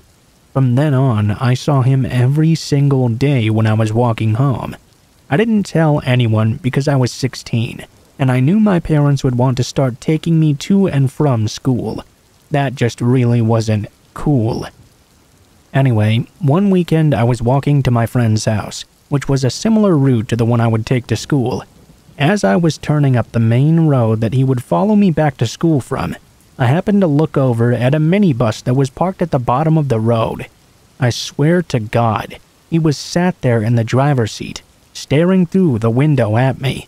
I called my friend and made it very obvious that I was on the phone, thinking it might deter him. But when I next turned around, he was only two meters behind me with that same plasticky smile. I started to sort of walk and run. I could actually hear him picking up the pace behind me, keeping the same pace and distance the entire time. I was still on the phone to my friend. I told her to open her front door and wait for me. When I got to her house, I ran straight in and we locked the door right away. That man stood outside her house for about two hours, smiling and staring through her window. After that incident, though, for some reason I never saw him again.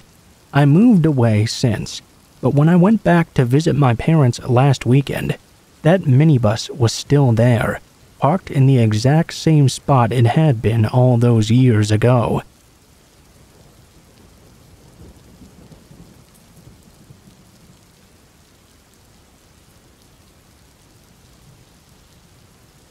When I was about 13 or 14, I lived on a farm in North Carolina. This wasn't a regular farm that you would expect with fields full of beans and shit. It was actually a pine tree harvestry. Pine needles are a big landscaping commodity, so we lived basically in the woods and would bale the pine straw every year. Whatever. The point is that my house was in the middle of 550 acres of perfectly lined longleaf pines my living room had a huge picture window. I won't go into the full architecture of the house, but it was a weird custom job built by some dentist in the 30s or something. The window in the living room stretched nearly the entire length of the room, maybe around 50 feet or so. The house was built on a subtle hill, so the living room itself sat 5 or 6 feet off the ground. You had something of an angle to look out at a solid mile of pine trees during the winter, it was unsettling because you'd get just a bit of snow, enough to reflect the moonlight so you could see all the dogs and animals running around at night. I'll be honest, I hated that room and that window. Now on to the relevant part. I had a cousin over for the weekend, and we were doing what kids do in the country throwing stuff into the fireplace to see what would happen. It was getting late and the fire was dying down, though, so we built a big kingdom of couch cushions and blankets in the living room and got ready to head for bed. Nothing was out of the ordinary until we heard the dogs start barking. They were really far away. The property stretches for nearly a mile, so I assumed they were just off chasing whatever animal felt like shitting in our yard. My cousin is staring out the window, though, not saying a single thing, which prompts the standard, What's wrong? He just kind of kept staring and said he felt like he was seeing things. Naturally, I started to get anxious and started staring out the window as well. Nothing happened for a few minutes. He got more and more annoyed with me because I was asking what he had saw exactly. He kept shushing me though so that he could focus a bit better. And then we both see it. The shadow of a person moves from one tree to the next, not a run or a leap, a brisk walk from one tree to another. This was only about 100 yards out from the house. We couldn't actually tell if the person was coming closer or not, because we were dealing with moonlight reflecting off the snow and slush and ice. I guess the crazy part is that we didn't freak out that much, because at this point there was still a chance that we didn't see what we had seen, you know. Maybe it was just the light playing tricks on us or something. So we kept on staring. I know we should have gone to wake up my dad, but he was kind of an idiot. He would be the guy to walk out on the patio and holler into the woods with his rifle. We were scared enough to agree that we didn't want to taunt with whatever was happening. About three minutes later, it happens again, but a good 50 feet or so from where we'd first seen it. Another person, another tree, a few strides. and then they were gone.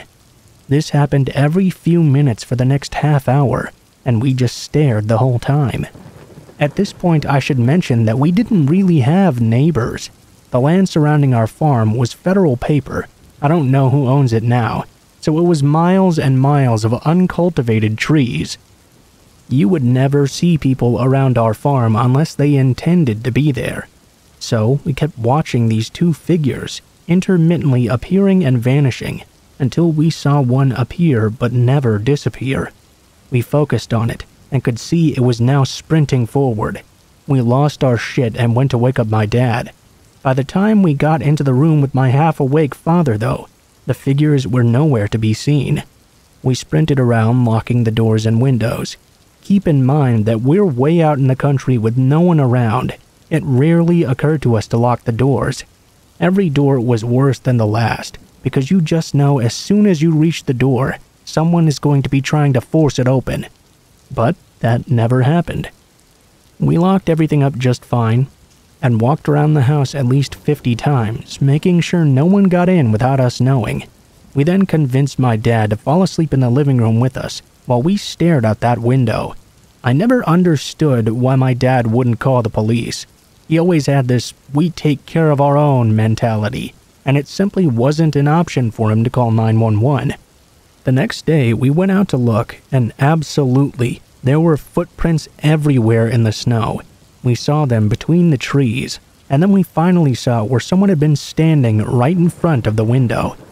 As I said, though, I wouldn't have seen them, because while I'm seven feet up in the living room, they would have been right beneath me.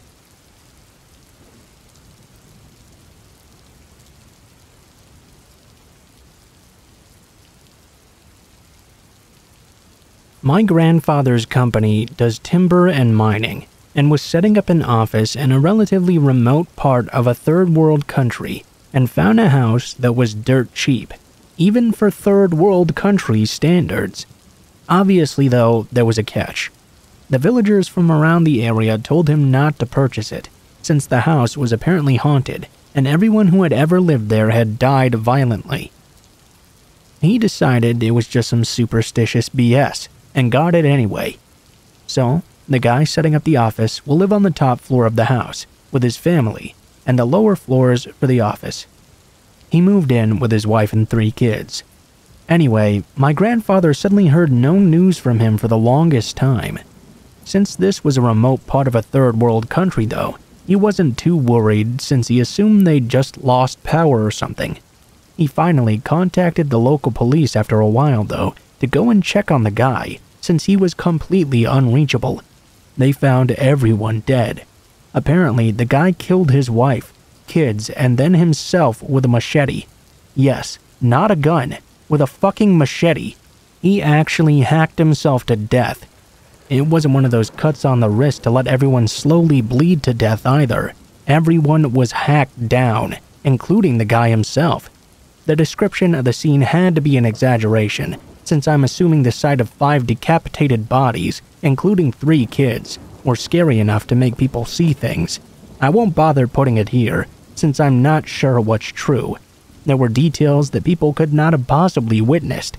Let's just say I stopped paying attention after I heard the phrase, magic machete. I was told the entire room was covered in blood, including the ceiling. Some people were saying the blood on the ceiling had to have gotten there because the spirits threw the bodies around or something. I had to explain a lot about blood pressure and got a ton of weird looks in return. Now, the weird part, if this isn't weird enough, was he had managed to barricade the door with the bed with his wife and kids on it. It was one of those old, gigantic beds that was extremely hard to move, too. The locals say this is evidence he was possessed by spirits, I say moving to the middle of nowhere in some third world country drove the guy nuts or something, and crazy people can do all sorts of crazy shit and even perform crazy feats of strength. Anyway, my father had to pay a few bribes to make sure nothing got to the press, not very hard in the middle of nowhere, about the entire thing, and get the police to classify the deaths as natural. I have no idea how they explained that. Third world countries are awesome, aren't they? All the employees in the know had to sign an NDA, too. He tried getting other volunteers to set up the office, even if they hadn't heard all the gory details. Because of my grandfather's gag order, everyone knew the previous guy had died, so no one volunteered. He promoted one guy, gave him a fancy title, and told him he was now in charge of setting up that office. The guy quit not long after.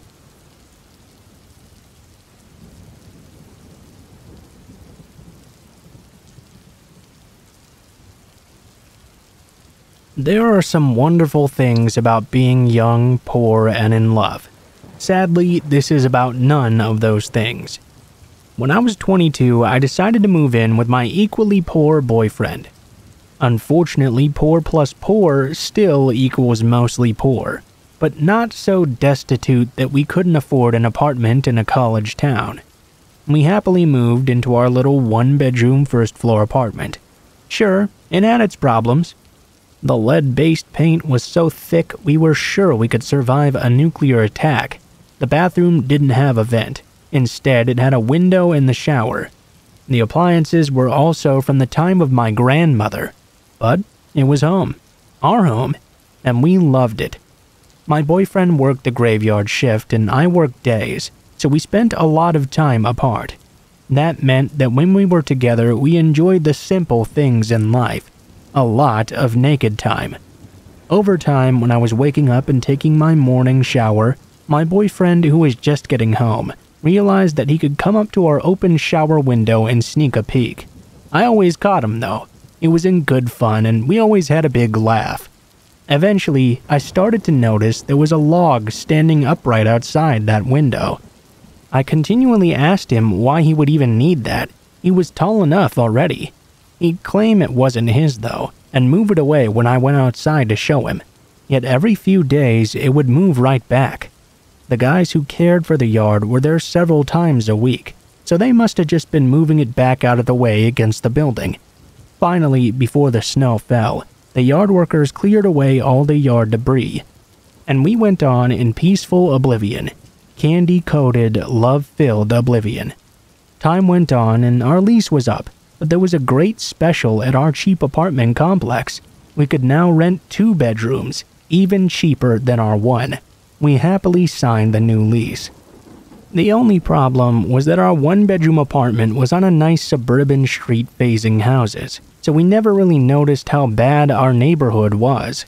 We were moved to the other end of the community, behind an abandoned strip mall. Our front yard consisted of a dark alley, and some dumpsters behind a recently vacated Chinese buffet where a lot of stray cats seemed to live. None of this mattered in our dimly lit front yard, though. Our apartment was super cheap and super huge. What more could we ask for? That year, we were so happy that my boyfriend went to buy me a ring on Valentine's Day. Being young and giddy and in love, he wasn't able to keep the secret. I told him yes before he could even ask the question. He didn't have a lot of money, so he bought a ring with the help of a friend's father who owned a jewelry store. He got a good price, but with the drop in price, so comes a drop in attention to detail. I was devastated when he brought home the ring along with our wedding band set, only to find out that someone had mistaken my very tiny 4 ring size with a 12. My rings were made for monster hands. What a terrible way to start our engagement. Clearly, they needed to go back so he put them in his glove box. But then a storm prevented him from taking them back that day. The next day, he went to his car to find it had been broken into. Nothing had been taken, except the rings from the glove box. We never did have the money to replace them. We personally went to every pawn shop in the area, and everybody said they hadn't seen anything. I began to be jealous anytime I'd see a woman with large fingers wearing a silver ring with Celtic knotwork I kept telling myself that her deadbeat boyfriend stole my ring to give to that whore or something. Winter passed and summer came. With the summer came the warm breezes and fresh air through our open windows. What the summer didn't bring, though, was more money. Not for us, and not for the city. We lost our cell phone service for non payment. But it didn't matter. The only people we talked to were each other anyway. Meanwhile, the city cut police and even closed a few stations most of them in our neighborhood. It didn't matter though. Summer days are long, and our dingy little corner of the community wasn't all that intimidating in the daylight. One night, my husband to be turned in early for the night, so I decided that after a long day, what I really needed was a nice soak in the bath. I walked into the bathroom and began to run the water, adding my bath salts and bubble bath. I opened the window for that nice summer breeze and took off my clothes and dumped them in a pile by the open bathroom door. I then grabbed my laptop to sit on the closed toilet seat so I could relax in the tub with a movie. This would be at least two hours of pure bliss. Nothing beats a long soak in my book. I turned the volume up on my laptop and relaxed the hours away with one movie after another. What must have been four hours later, I pulled the plug on the drain and sat while the water swirled away. I slowly stood up and stretched and dried off, the now cool night air hitting my face through the window. I figured I'd just leave that open though. The apartment could use some airing out. I stepped out of the tub and across the bathroom, I didn't bother to move my pile of clothes, instead, stepping around them in a manner to get out of the partially open bathroom door. This move put me looking back into the bathroom, right out the window, where I could see a tall man. At first, I was startled, but I quickly realized it must just be my fiance playing a trick on me, like he used to do at our old apartment.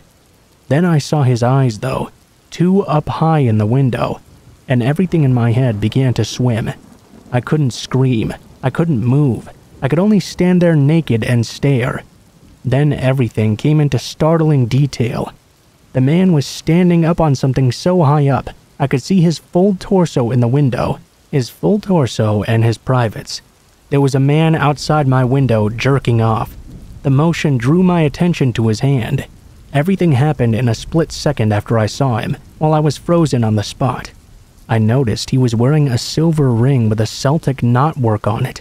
I made a mental note of ways to identify him as I unfroze and ran to the bedroom.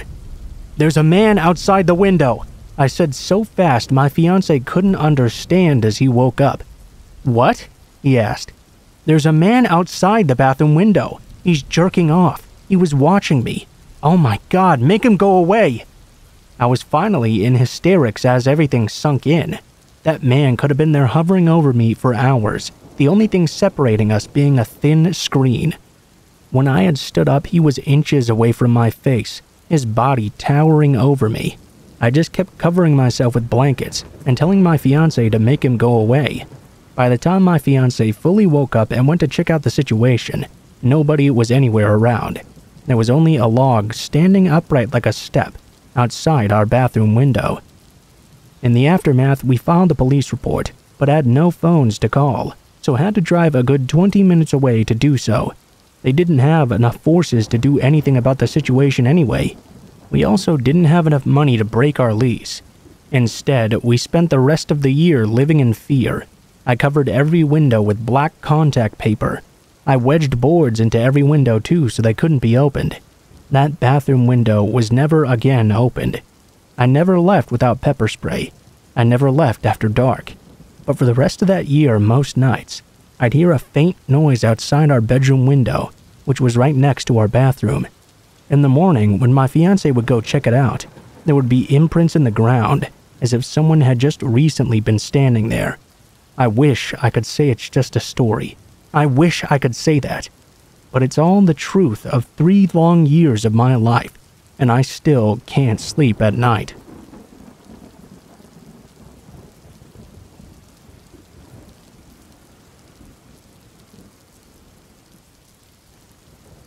I may be a little bit too late to this, but I'll never forget this one. I was probably in the seventh grade and was staying at my best friend's house.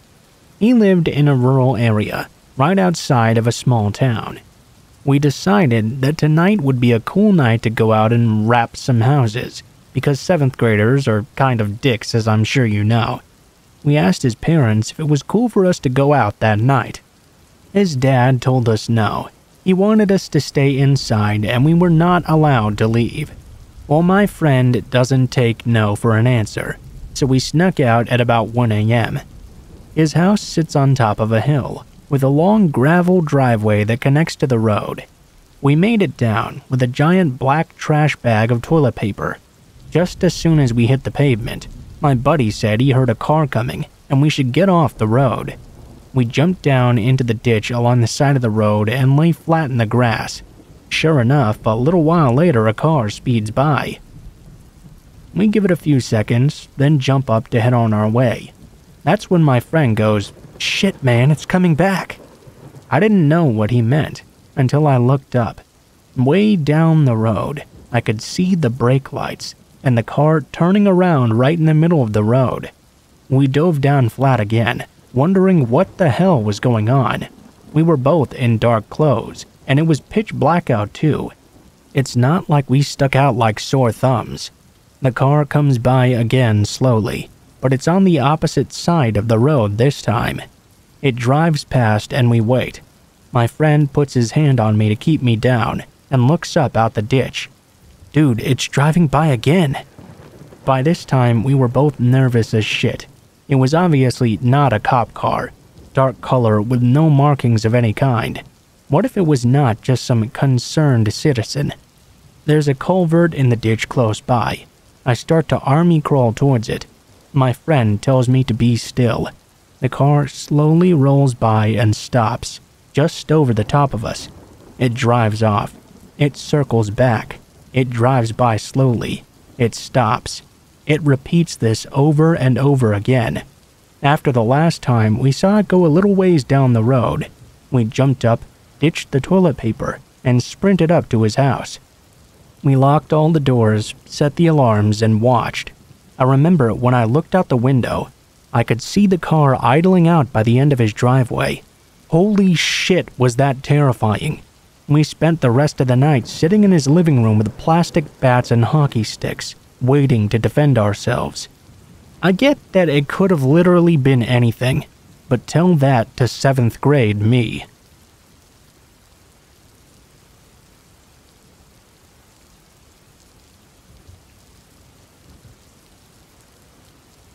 When I was 17 or 18, we lived in a little village called Shipton Bellinger in Hampshire, England. There's two towns fairly close that form almost an oval, I've always had trouble sleeping and was getting really into fitness then, so I started going out fairly regularly at 12 or 1 a.m. in the morning and running taking that oval route.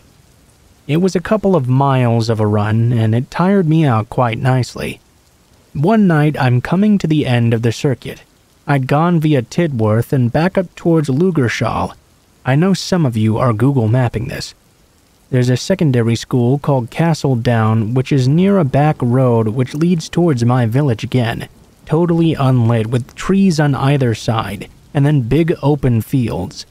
So I'm under a street lamp outside the school, tightening my laces, when I hear a ton of noise coming from the woods. At first, I figured it was just a deer or something, so I finish tying up and start to jog down the road. The noises start getting louder and louder, though, it gets to the point where something is audibly coming towards me through the woods, and I hear the metal fence shake as something starts to climb it. I took off so fucking fast down the road, full on sprinting the entire mile or so. I was constantly repeating to myself, if it can catch me, it deserves me. And don't waste time looking. You know it's there, just run. It freaked me the fuck out. I got into the village and stopped. I had to look for about a minute to see if anything would come out from the darkness. Then I pegged it to my row and house. I still don't know if it was a person or an animal or what, and frankly, I'm glad I never got to find out.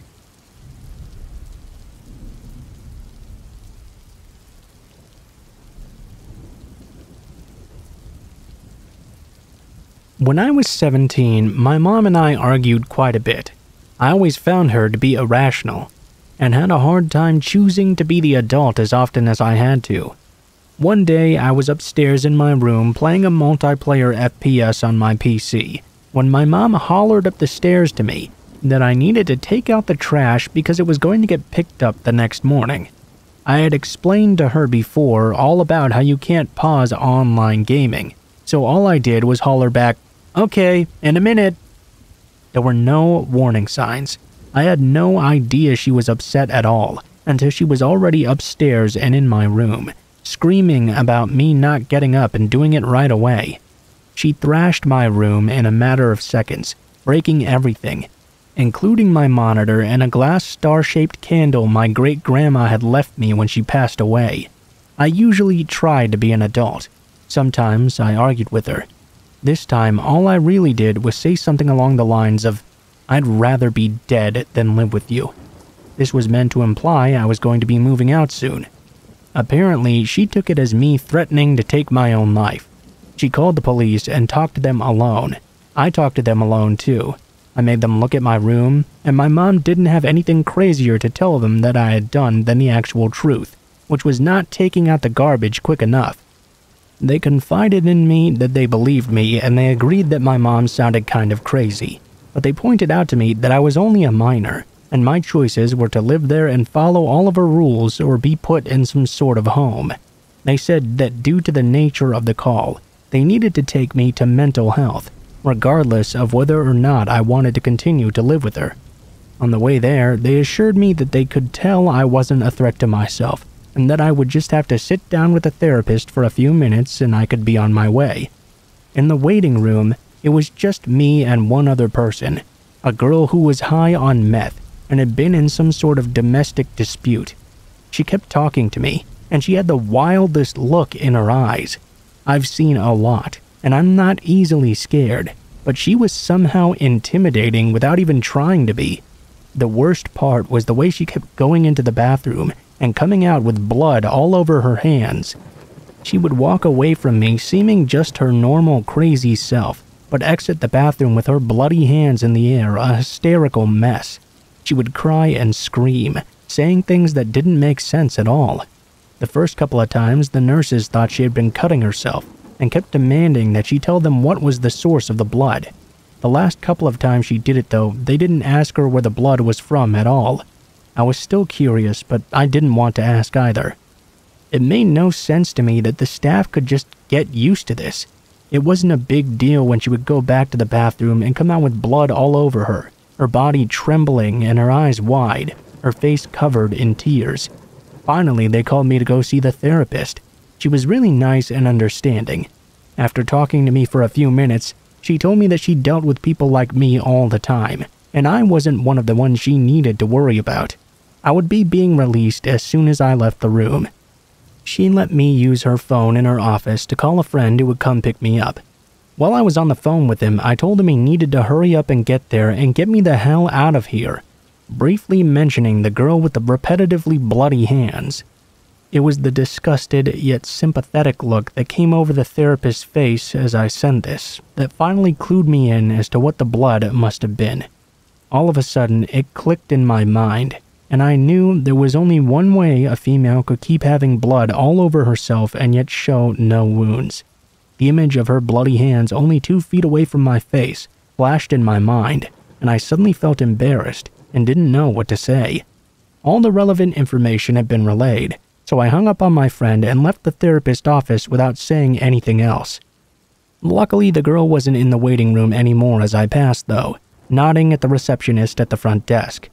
I can honestly say that when I left the building that day, I was happy to be going home to my irrational mother she no longer seemed so bad now that I had something to compare her to. From time to time, I think of that girl and imagine her out there somewhere in the world. I wonder what kind of stuff she had been through, and what kind of stuff she's up to now. Whenever I hear somebody call someone else crazy, I quietly think to myself that they likely haven't seen anything like what I saw that day. I seriously hope I never get to her level.